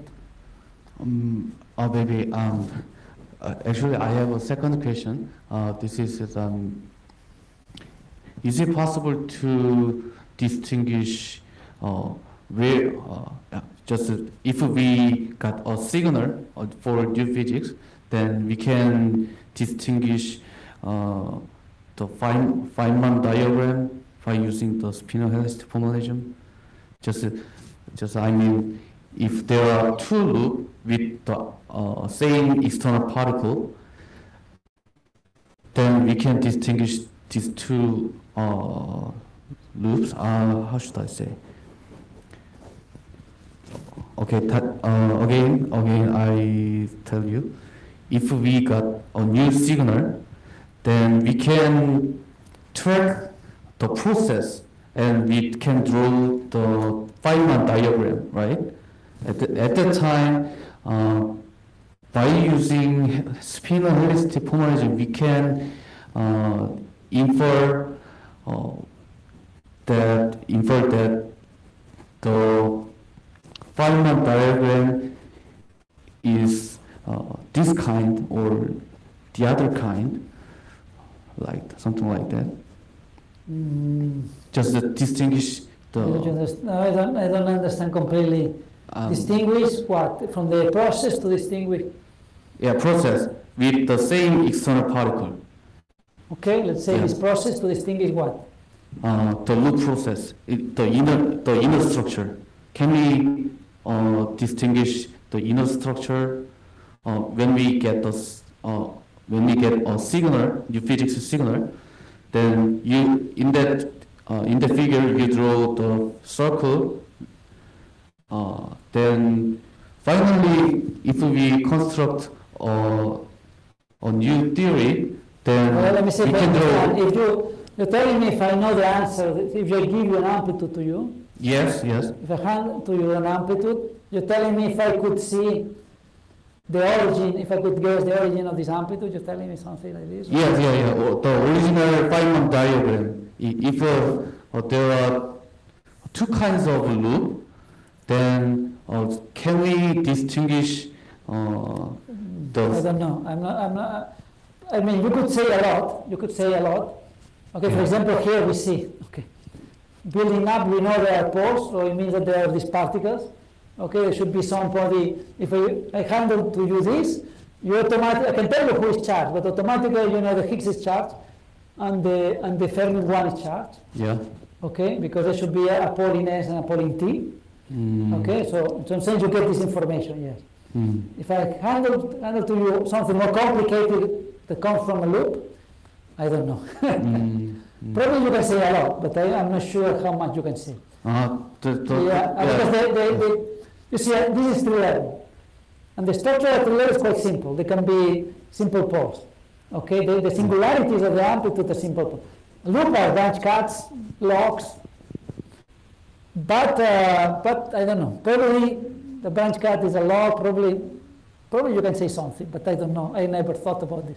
How deep you can go from this. Uh, the reason why I ask you is I read your abstract. Uh, in that in that abstract, I saw the loop uh, amplitude can be uh, decomposed by the tree level. Uh, Yeah, yeah, yeah, yeah. of we- we level this, this, in amplitudes. fact, this is the idea. This loop can be written, the calculation of this loop can be uh, uh, derived from, from tree-level amplitudes, on shell amplitudes. Yes, yes. So just I just wondered about that. Yeah, can we distinguish the inner inner structure like that? Yeah. Okay, I don't know. I, I'm, uh, I don't know exactly, yes, how far you can go. Yeah, I never, I never thought about this. Uh, okay, thank you. Yeah. Uh, yeah, uh, so, thing is simple, uh, nice question. So in here you get EFT kind of from the, you first draw the diagram, then you just wrote down the, this amplitude, right? So, thing, uh, to say? Uh, just from this, uh, the, the, the, the, uh, the formalism, we know how many diagrams we have. I mean, just from start from writing down the amplitude. Then always where are you, are you, in the EFT, yeah, here? yeah, there. Okay, So, um, it, it's, uh, to me, it looks like you just first draw down the, uh, the, the, the, the, the, diagram. Yeah, put the diagram, but sorry, these are amplitudes, okay? Put the diagram because I, I already said at the beginning, this is more familiar to you if like this. But in some sense, I started with this amplitude, okay? Yeah. I, I, see, I mean, it's so simple as putting lambda square and I have to do dimensional. So I can do this and this and put numbers here and, That- fill, that- that's and start filling the, the possibilities and I get different amplitudes. And after that I can see, oh, this is, in, this is a particle with if I put one, two, I don't know, uh, three, four, I know that this is, just randomly, okay. I put one, two, three, four, and now I know that there is a, there is a particle one that has helicity minus a half, so it's a fermion. The two also is a minus, and the three, four is a square, so is uh, also fermion, but plus. Okay? So if I write, I write amplitudes, okay, and after that you want, I can derive, okay, this is the amplitude associated at for fermion interaction, two plus two two pluses and two minus helicity. Okay, I put I started looking like this. I don't I, I don't start like this and do, do this. I start from this, I do this. Okay, I start from the amplitude. Of course, I did to the, you. I told you I put the I put the Feynman diagram because it's clear for you that this is okay. This is interaction of three particles. This is a Higgs boson. This is a fermion. Blah blah blah. But the way it goes is amplitude. Okay, so I have to build up some object with the spinors, with dimension if it's a 4pt, dimensionless. Okay, it's, it's very simple. Okay, I can you see, I can do this, or I can do this. I, ca- I don't have much, no. And I do the, the, the possibilities that I told you. I did, I did this. Like that, and I have to fill with the, with the numbers that are the particles. If I do 1, 2, 3, 4, 5, I get this. But if I do 1, 2, 1, 2, now I see this is not anymore. Now, okay, this is another one. What is this? Oh, this is a The one has uh, uh, the angle and the square, okay, so it's helicity zero. So I have a particle of helicity zero here, one, another particle two of helicity zero. It has to be 4, 4 pt, it has to be, nobody has helicity here, it has to be, this is a 4, 4, 4 scalar interaction. So I can start from the amplitude, I mean, it's as simple as this, you see. This is why the simplicity. Try to build up a dimension six operator in the standard model. You'll take, you'll take, uh, I mean, you go to a student, very good student, it will take a, uh, probably, I don't know, a couple of, of, of, a week, I don't know, to get it. Here, to get the dimension, the amplitude, is as simple as this. We can do it in five minutes, the different possibilities. I wrote some of them only. And when I write them, I can get what is this telling me. Because if I know the helicities, I know the particles. Okay, and now I can write something that looks more familiar, familiar with the Feynman diagram. But this is, these are not Feynman diagrams. This is my, my starting point are these mathematical, these amplitudes. Okay. So when we go to the the the, the uh, higher high, uh, let's say so higher higher what? high high and I mean we know the UV physics. Okay, let's let's say we know the UV physics. That we are starting from there. I mean full structure to get that that that amplitude. Now, that- here I'm starting, you mean when I go to, to high energy, you mean to the scale lambda? I mean, I, I just wonder how to match this uh, IREFT to UV physics. Ah, the matching, the matching will be the same as you do with, uh, I mean, when you have an effective field theory, is this the same, this is the same as when you do Lagrange. If I bring to you the standard model effective field theory, I don't know the UV physics. I mean, there are many, many, many UV, pos- UV completion of the theory. There are many. I can go supersymmetry, I can go, I don't know, whatever, I don't know, extra, extra fermions. I can, there are many UV completion. I don't know how to go in my effective field theory. Uh, but the, I Here want I also don't know, I don't know how to to do that. Uh, there is a an advantage in this mechan- uh, the formalism than the Lagrangian formalism.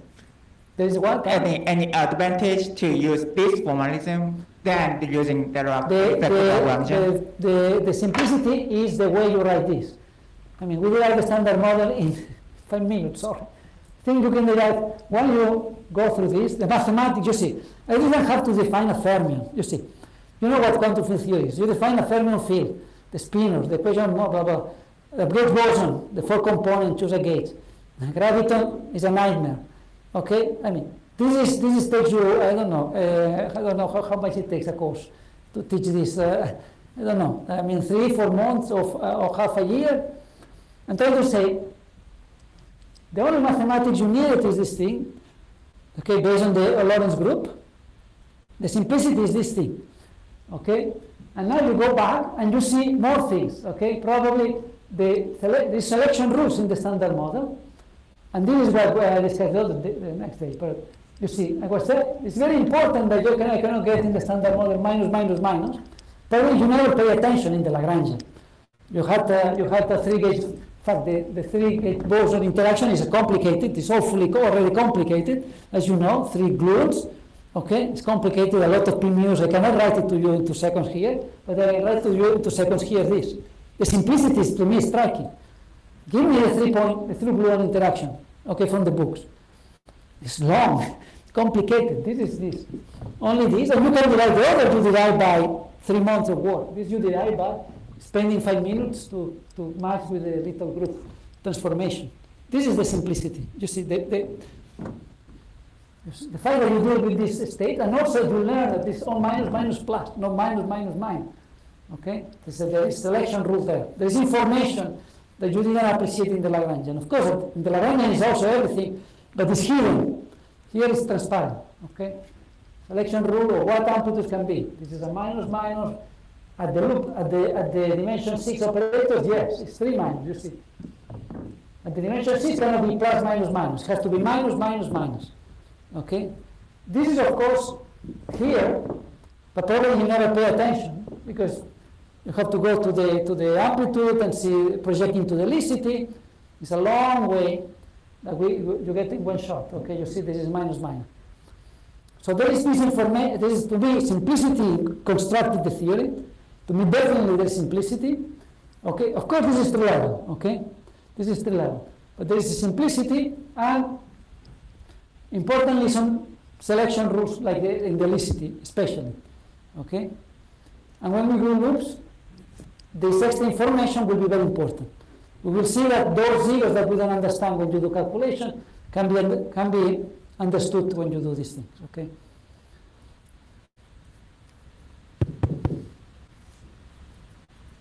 Uh, the, that, can I little bit change my question? So, okay, so from Lagrangian, it's obvious that we, if we say the Mexican hat potential, then it, there is a SSB, right? So in here, for example, Uh, uh, the, the, the, how we can distinguish which particle is, for example, the energy boson from the, from the, uh, the SSB or something? So, Doesn't, I don't understand. Sorry. okay, Okay. let me, let me ask you a little bit. okay. Uh, Maybe this question can be related to the one uh, Okay. just asked. Uh, I'm wondering uh, that, so here we have started from the diagram and then we just immediately write the amplitude form. But then can you do this in the other way around? So it's like, my question is actually asking, for a given form of the amplitude which satisfies all the conditions that we have written here and used here, can you always find the corresponding operator which gives the right corresponding pole structures it has and also the other parts of the amplitude You mean form thi- to be thi- written? this connection, this? Uh, so, for example, in that case, because we don't have any pole structure in the denominator, so it seems like it's quite immediate to write, uh, draw a diagram corresponding to that. But then my question mostly concerns about uh, something like that, but with some more complicated pole structure in the denominator. So it's like in that case. Yeah, but again, I I mean, this is what we discussed, yes. This is, the- if you have this pole, you know that this factorization tells you there's interchange of these particles. Yes, but that was only This is already, this is already the information, the information you have here. So you write this thing, this is the only thing I can write. Well, three possibilities, S, T, T, U, S, U, okay, three possibilities. Yeah. Okay, choose one, or, or, and the three of them means different channels of uh, factor, different factorization channels or different interchange of particles. I have three possibilities. So does that argument still apply for more general cases like like n-point amplitudes as well? Yeah, when you go to very complicated am- higher point amplitudes, I mean, there is a method that is very simple Uh, that. Uh, uh, to get the graph diagrams corresponding. no, no, it's, it's, a, it's, a, okay, it's a method that is going to the complex plane and doing some shifts and things like that. That makes you very simple uh, thing. I, don't- I don't know if you go. Uh, um, well, I think I think if you go to if you the problem if, if I go to more complicated object probably it's not so easy to derive in two seconds like this. Okay, this is what I'm saying. Okay, so this is so you think brings me something with uh, five. Here is relatively simple because this is two by two, and there is the, ma- the Mandelstam variables STU or ST, two of them because the other is related. Okay, but if you go to a process with 5, 25 gauge boson or whatever, you see there is many possibilities to have it here. There are many invariants. The Mandelstam variables that were uh, STU now are many of them. Okay, and now becomes this. This is not the way to go. Okay, so for point, four point amplitude, five point amplitude, probably still you can do something. Six, seven, 25, no. But there is a very nice famous method, okay, that, uh, that uh, you can use to derive, uh, with, this, with this amplitude method, to derive this. In fact, this is the way, way these things were used for QCD. Okay, for BSM, probably we don't care for BSM, 25 gluons or 25 fermions, okay? For, for QCD gluons, where you have, uh, I don't know, two gluons going to three jets or four jets, or now you need 5 PT, 6 PT. And then there is another method I, I cannot, I didn't explain here. It's a beautiful method to get this also, and this is why QCD people use this method. Okay, you were asking before, "Oh, why this builds up? Okay, if you want to calculate uh, 10 PT, no, don't do it by uh, Feynman. Thousand of diagrams. I mean, Feynman is very nice to tell you that, oh yes, everything at Feynman, but start drawing, drawing them, Feynman diagrams, and you get thousand of them. I mean, it's useless. With this method, and there is a, there is this trick that I even talk about it. you can calculate this amplitude relatively easy. So this is, this is a famous way, of course, but not much interested for BSM, but much, of course, uh, but is interesting for, for QCD or higher, higher PT processes.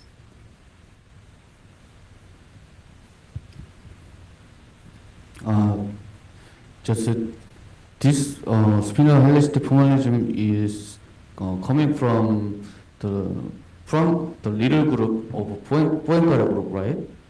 Point? Poin- uh, Poincare group. Point particle? Uh, no, no, no. Po- Poincare, Poincare group. This is Poincare group. ah. yeah, yeah, the, uh, from the Poincare group, we we obtained the little group. Yes. And we uh, realized realized this spin helicity formalism, right? Then Exactly. uh, can can this formalism applied to also gravity? Oh yeah, yeah, of course, of course, of course. To gravitons, yes, yes, yes. Gravitons is the same because gravitons, I can derive to you a graviton-graviton scattering in two seconds. If you want to do, I mean, this is, this is something, I, if I tell you, okay, go, you know how to do Feynman, okay, calculate, and this is a typical example. For graviton, to do graviton scattering and do it out of Feynman, it will take you, I don't know, half a year or probably to, Uh, to derive it. However, in amplitude is, is the same.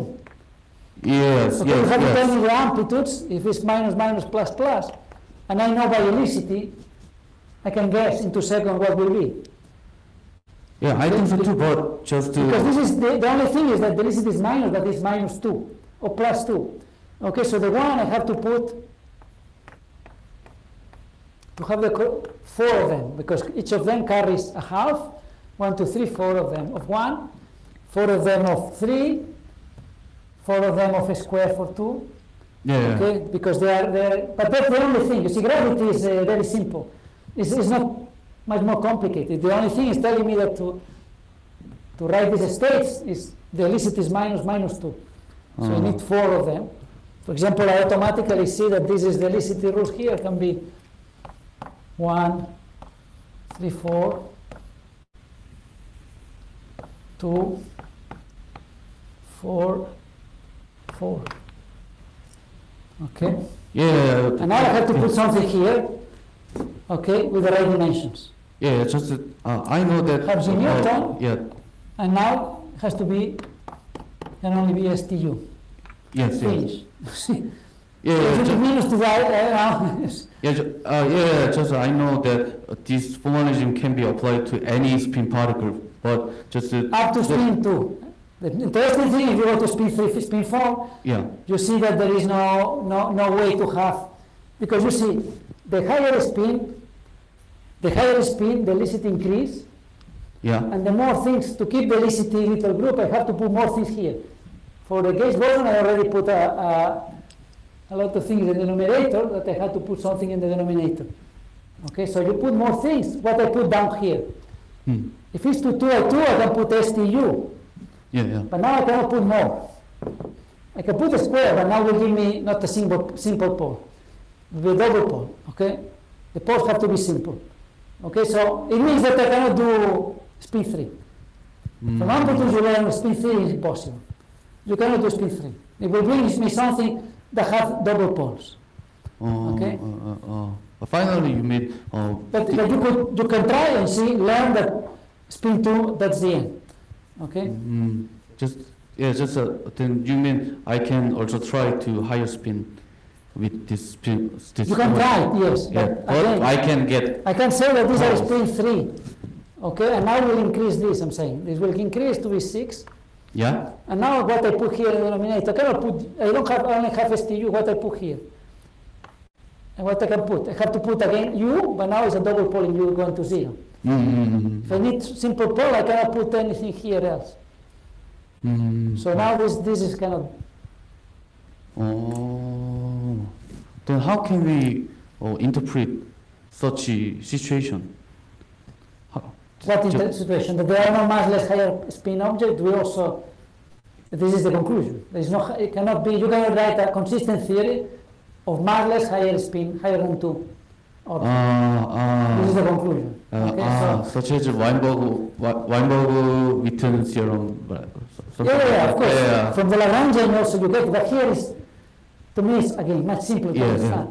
Yeah. Uh, just to because by the way, this you can also write, another thing to give you this amplitude method that this, you know you are doing very generic things. Yeah, You're not missing anything. From the Lagrangian, why all physics should be written as with the Lagrangian? You can ask yourself, probably there is some be- uh, beyond the standard model physics that is not possible to be written by Lagrangian, because Lagrangian is a mathematical object, it's not physics. So it could be that there are BCS in physics that I cannot write with a Lagrangian. 음, Okay, or the Lagrangian looks very complicated. Okay, now I can go to amplitudes. Okay, with amplitude, yes, because amplitudes are physical objects. I have to talk about some amplitude, some scattering. Okay. yes. So I know that here I, I, I'm not missing anything. I'm doing the more generic theory. 아, 아, just the the reason why I ask you for the gravity, just I imagine that uh, if we consider curved space, then at that time we can treat the particle as a free particle. Is I I don't know. Well, if you go to Ker- Kerr space, you said. Yeah, if Now, if I go I to Kerr space, you have to be careful because, uh, uh, as you said, this is based on Poincare symmetry. Yeah, yeah. symmetry is important here. You see all the time. So if I go to another background, ah we need to I have to change completely the formalism. ah ah okay okay ah, ah, I So, so sorry, yeah, when I was saying I can do gravity, amplitudes of gravity in flat space. So like Ah, gravity ah. is just uh, some spin to object. ah in flat scattering. space gravity This is to scattering. gravity ah. for me. When I say gravity here is a graviton. Ah, then, Into all ah, ah, then we can consider the perturbative curvature. Then at that time we can treat the graviton as a particle in flat space, right? Yeah, Ah, exactly, okay, exactly. okay, thank you, thank you. Some questions. So I, I wonder how far you can go without uh, Lagrangian. How far I can go in? Yeah, how far you can go. How far you can go without Lagrangian? Without Lagrangian. Yeah, for example, I mean, you, you are talking about uh, global symmetry and conserved charge, etc. But in the usual approach to the gauge field, uh, the global symmetry is implemented through the local gauge symmetry, and then you have to introduce a uh, gauge boson which has a particular type of. Yeah, global symmetry comes from the gauge gauge symmetry. Yeah, and then now here you start from the global symmetry, and, and how do you, what's the rationale for the existence of the gauge field? I mean, photon. What is the rationale of the gauge symmetry or the? mean, you don't have a gauge, local gauge symmetry, No. you have only glo- global symmetry, Yes. right? And then uh, what's the rationale for this uh, global charge emit uh, spinal particle?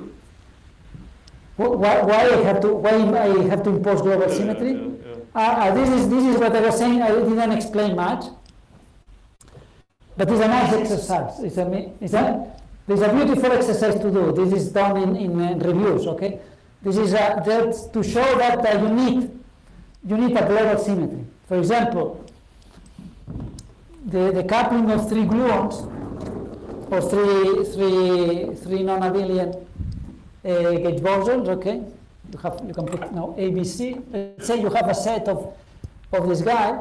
The coupling this has to be an invariant of a, uh, this has to be the the FABC. It has to be uh, uh, uh, an invariant of the of the SUA symmetry.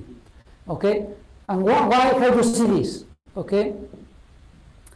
Okay, this is this requires some exercise. Okay, because you could say, well, have, I have a bunch of ABC, so I don't know. Here, any combination, I don't have to put the the the the, the, the, the FABC. I can put any other combination. I'm saying, Please go ahead. No, no. What I'm trying to say, the condition comes again when you calculate for. I uh, draw the diagram a la, a la Feynman, okay? But when I calculate the four, similar as I, got, I have done here, the four gluon interactions, okay? Again, to to require consistency of factorization, okay? You, can you get a condition that is the Jacobi identity for the for this FA. Let's say this FABC is whatever you like, okay? So when you require the pole structure, okay, factorization, the proper factorization, okay, so every time I go to an pole, I have to find that there is a particle and the 4pt decompose in, in 3 PTs. It will be forced, you will get a condition that uh, is a nice exercise to do, okay? But it requires uh, time. You will see that this guy has to fulfill the Jacobi identity. Okay, so global symmetries are forced, and now you understand better to me. Okay, this is another question. Now you really understand what happened if you break this global symmetry. Because when you do this invariant, probably you are not sure what happened. Here you realize that you do this, you do this, if you break, if you decide, oh, this I don't care about Jacobi identities. Now you will see that you have, okay, when you do the two, two, two global, okay, you will, you will have some pole where you don't have a particle. You're, you, you don't have unitarity, you're, you see, you're missing a particle, a there that you don't want to associate with a particle. This is very bad, okay, because it means that you can produce something that you didn't identify. It goes away, okay? But you see, the usual uh, operator for the standard model is that you don't impose the, any global symmetry from, from the beginning. You impose only gauge symmetry. Exactly. But this- uh, global symmetry is a kind of accidental symmetry. Exactly. Exactly. Here, Here, you that aspect. How do you replace this aspect by imposing global symmetry? No, no. Here, as I say, the, the way it comes, I don't have the symmetry. The way it comes is that if I don't put global symmetries, my amplitudes, okay, I have amplitudes when I construct 4pt amplitudes. I have amplitude that the, the, I have poles, okay, that are not associated with particles. Okay, the amplitude have poles that are not associated with particles. Okay, if I want to have out that all poles are associated with particles, I need a requirement. And this is the Jacobi identity. You can prove this in a relatively simple, I don't know, with one blackboard kind of okay argument. You can reproduce this. That's that's the way I see. You, you under, to me, I say, I repeat it. I understand better, I think, in this way why global, why the symmetries are important. Okay, in some sense, the uh, symmetry is emerging. It's not something I put. I don't want to put anything. I want to put the more generic. But I realized when I deal with gauge boson, and for gravity is more interesting. Gravity, you realize that the couplings have to be equal for everybody. You see the, the, the, the equivalence principle in a beautiful way. All poles, okay, have to be associated with particles. You realize that the coupling have to be the same for everybody. Okay. Uh, my impression is that the, occasionally uh, you have to use some uh, results which are obtained from the quantum field theory. Like uh, I think the, if I remember correctly, this, this you, you introduced FABC, and it should be totally anti-symmetric. Yes. Because factor is totally anti-symmetric. But the, the gauge, I mean, the spin-one particle is a boson, and the, the wave function should be amplitude should be symmetric under the exchange. That's why you have to introduce a totally anti-symmetric FABC. No, no, anti- antisymmetry yeah, is trivial. my Antisymmetry is trivial because you see here that Yeah, yeah. if you do the interchange, okay, this is a property, another property I didn't put, but this ij, of course, from uh, epsilon, ij is equal to minus jii. Yeah. So my Okay, so when you do the interchange of, of one of the two particles, you see it's antisymmetric. So this has to be antisymmetric also in ABC. But this is this is still very generic. You can say it's My antisymmetric. question is, uh, can you can you know a priori that the, the uh, spin-one particle should satisfy? Uh, uh, I mean, it should be symmetric under the exchange of the uh, uh, identical particle. So that should be. I mean, we, we know that from the this uh, Hamiltonian or Lagrangian formalism, uh, spin statistical theory is derived within, within that framework, right? But my question is whether that kind of uh, theorem also can be deducted from this amplitude method or not. So my impression is occasionally, I mean, this for the spin-one particle, I mean, we don't have to care about the gauge symmetry in the in case of the amplitude method. But uh, when you uh, derive many things, I think I often see that some arguments is uh, probably based on the Lagrangian formalism or Hamiltonian usual QFT formalism rather than amplitude. To derive what? Exactly what? The, the, the, Like the spin statistics. Spin statistics. So, uh, so that, that is my question. How far can we go without Lagrange? Uh, within so, No, no, we don't know anything about the No, I, don't know now the answer very fast in, a- in a- the spin density, but I, no, I don't think you, you need the Lagrangian to derive.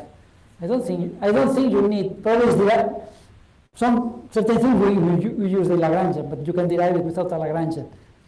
It's a, it's a good thing, like for example, CPT. CPT, we know if you derive a Lagrangian. Which one? CPT is another Oh, question. yeah, yeah, yeah. CPT, okay. Yeah, CPT, for example, is very simple to derive from a Lagrangian. Okay, you take any Lagrangian, you do CPT, and you see invariant. Okay, but you can also derive it from an amplitude. You can also show that there is a yeah, this is not this is a, a accidental symmetry. Okay, any Lagrangian has a CPT invariant.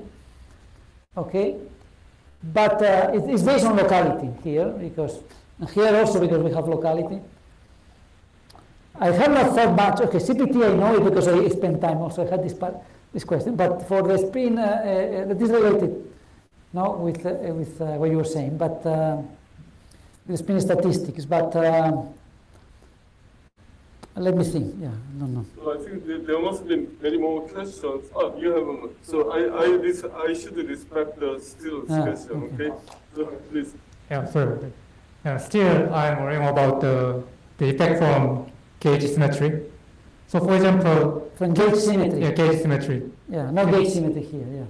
But still, then how can you fix the the size of coupling like the C2 and C3 without the gauge symmetry? In some case, two different diagrams are related to each other by the gauge symmetry, and their coupling must be dependent on each other. Yeah, so once you consider uh, four-point interaction of gluon, there is uh, this diagram and there is another diagram like a four-point four-point gluon diagram. And two different diagrams should be related to each other by the gauge symmetry. Then how can you fix the size of coupling of diagram? Mm, sorry, because I'm fully, I don't fully. So, so my impression is that. I don't fully understand. Yes. here you need find- gauge symmetry. When you find Feynman, yes, you do this, you, you have the other, and you have the, no, the crossings. Like, like X shape, Okay, you X have shape the, diagram. uh, S, T, U channel, yes. And another X shape diagram. Which one? I don't know. Four, four point interaction. And we have another diagram, Another one, I'm missing Yeah. one, which one? X shape. Eh? Yeah, yeah. Cross, yeah. Contact, contact interaction. Ah, ah, sorry. yeah. Ah, yeah, you see. Yes, then I'm still. It's a beautiful thing, you see. This is an artifact of gauge invariance. This is not physics. Okay, fine. Sorry, I forgot. You see, there's no, doesn't exist for me. Right, right. My theory is defined by this guy. That's the only thing. Carries information. We use this thing only for gauge invariance. Yeah, it's redundant. Okay, sorry. I see then. Then you mean I that. forgot this. Yeah. Ah, I see. When you find a rule, you have to put this guy. No, I don't have this guy. No, I cannot write. I cannot. You see, the only if you want to write four, you always will see that you have poles. You have to have poles. Okay, this is a contact interaction. I cannot write a contact interaction. Uh, try, try. Okay, so it's very simple. Okay, fix your helicity, whatever you want, minus, minus, plus, plus, whatever, and try to find with the right things. I cannot get a contact interaction four. No, I cannot get it. Okay? That is dimensionless. Okay, it's a 4pt dimensionless. If I use 1 over lambda squared, yes. I cannot write it. And there is a paradox why it appears because we know that we have a contact interaction. But this is not physical. Ah, I see. Then we Physical say is, the amplitude altogether. And this guy is there to cancel gauge invariant, to keep gauge invariance. Mhm. This is, this is, this is, uh, this is, uh, So this contact term is just the artifact from the gauge redundancy then, gauge invariant, yeah. I, I which, don't have which, which is easily removed by the formalism. Yeah. Okay, uh, thank you.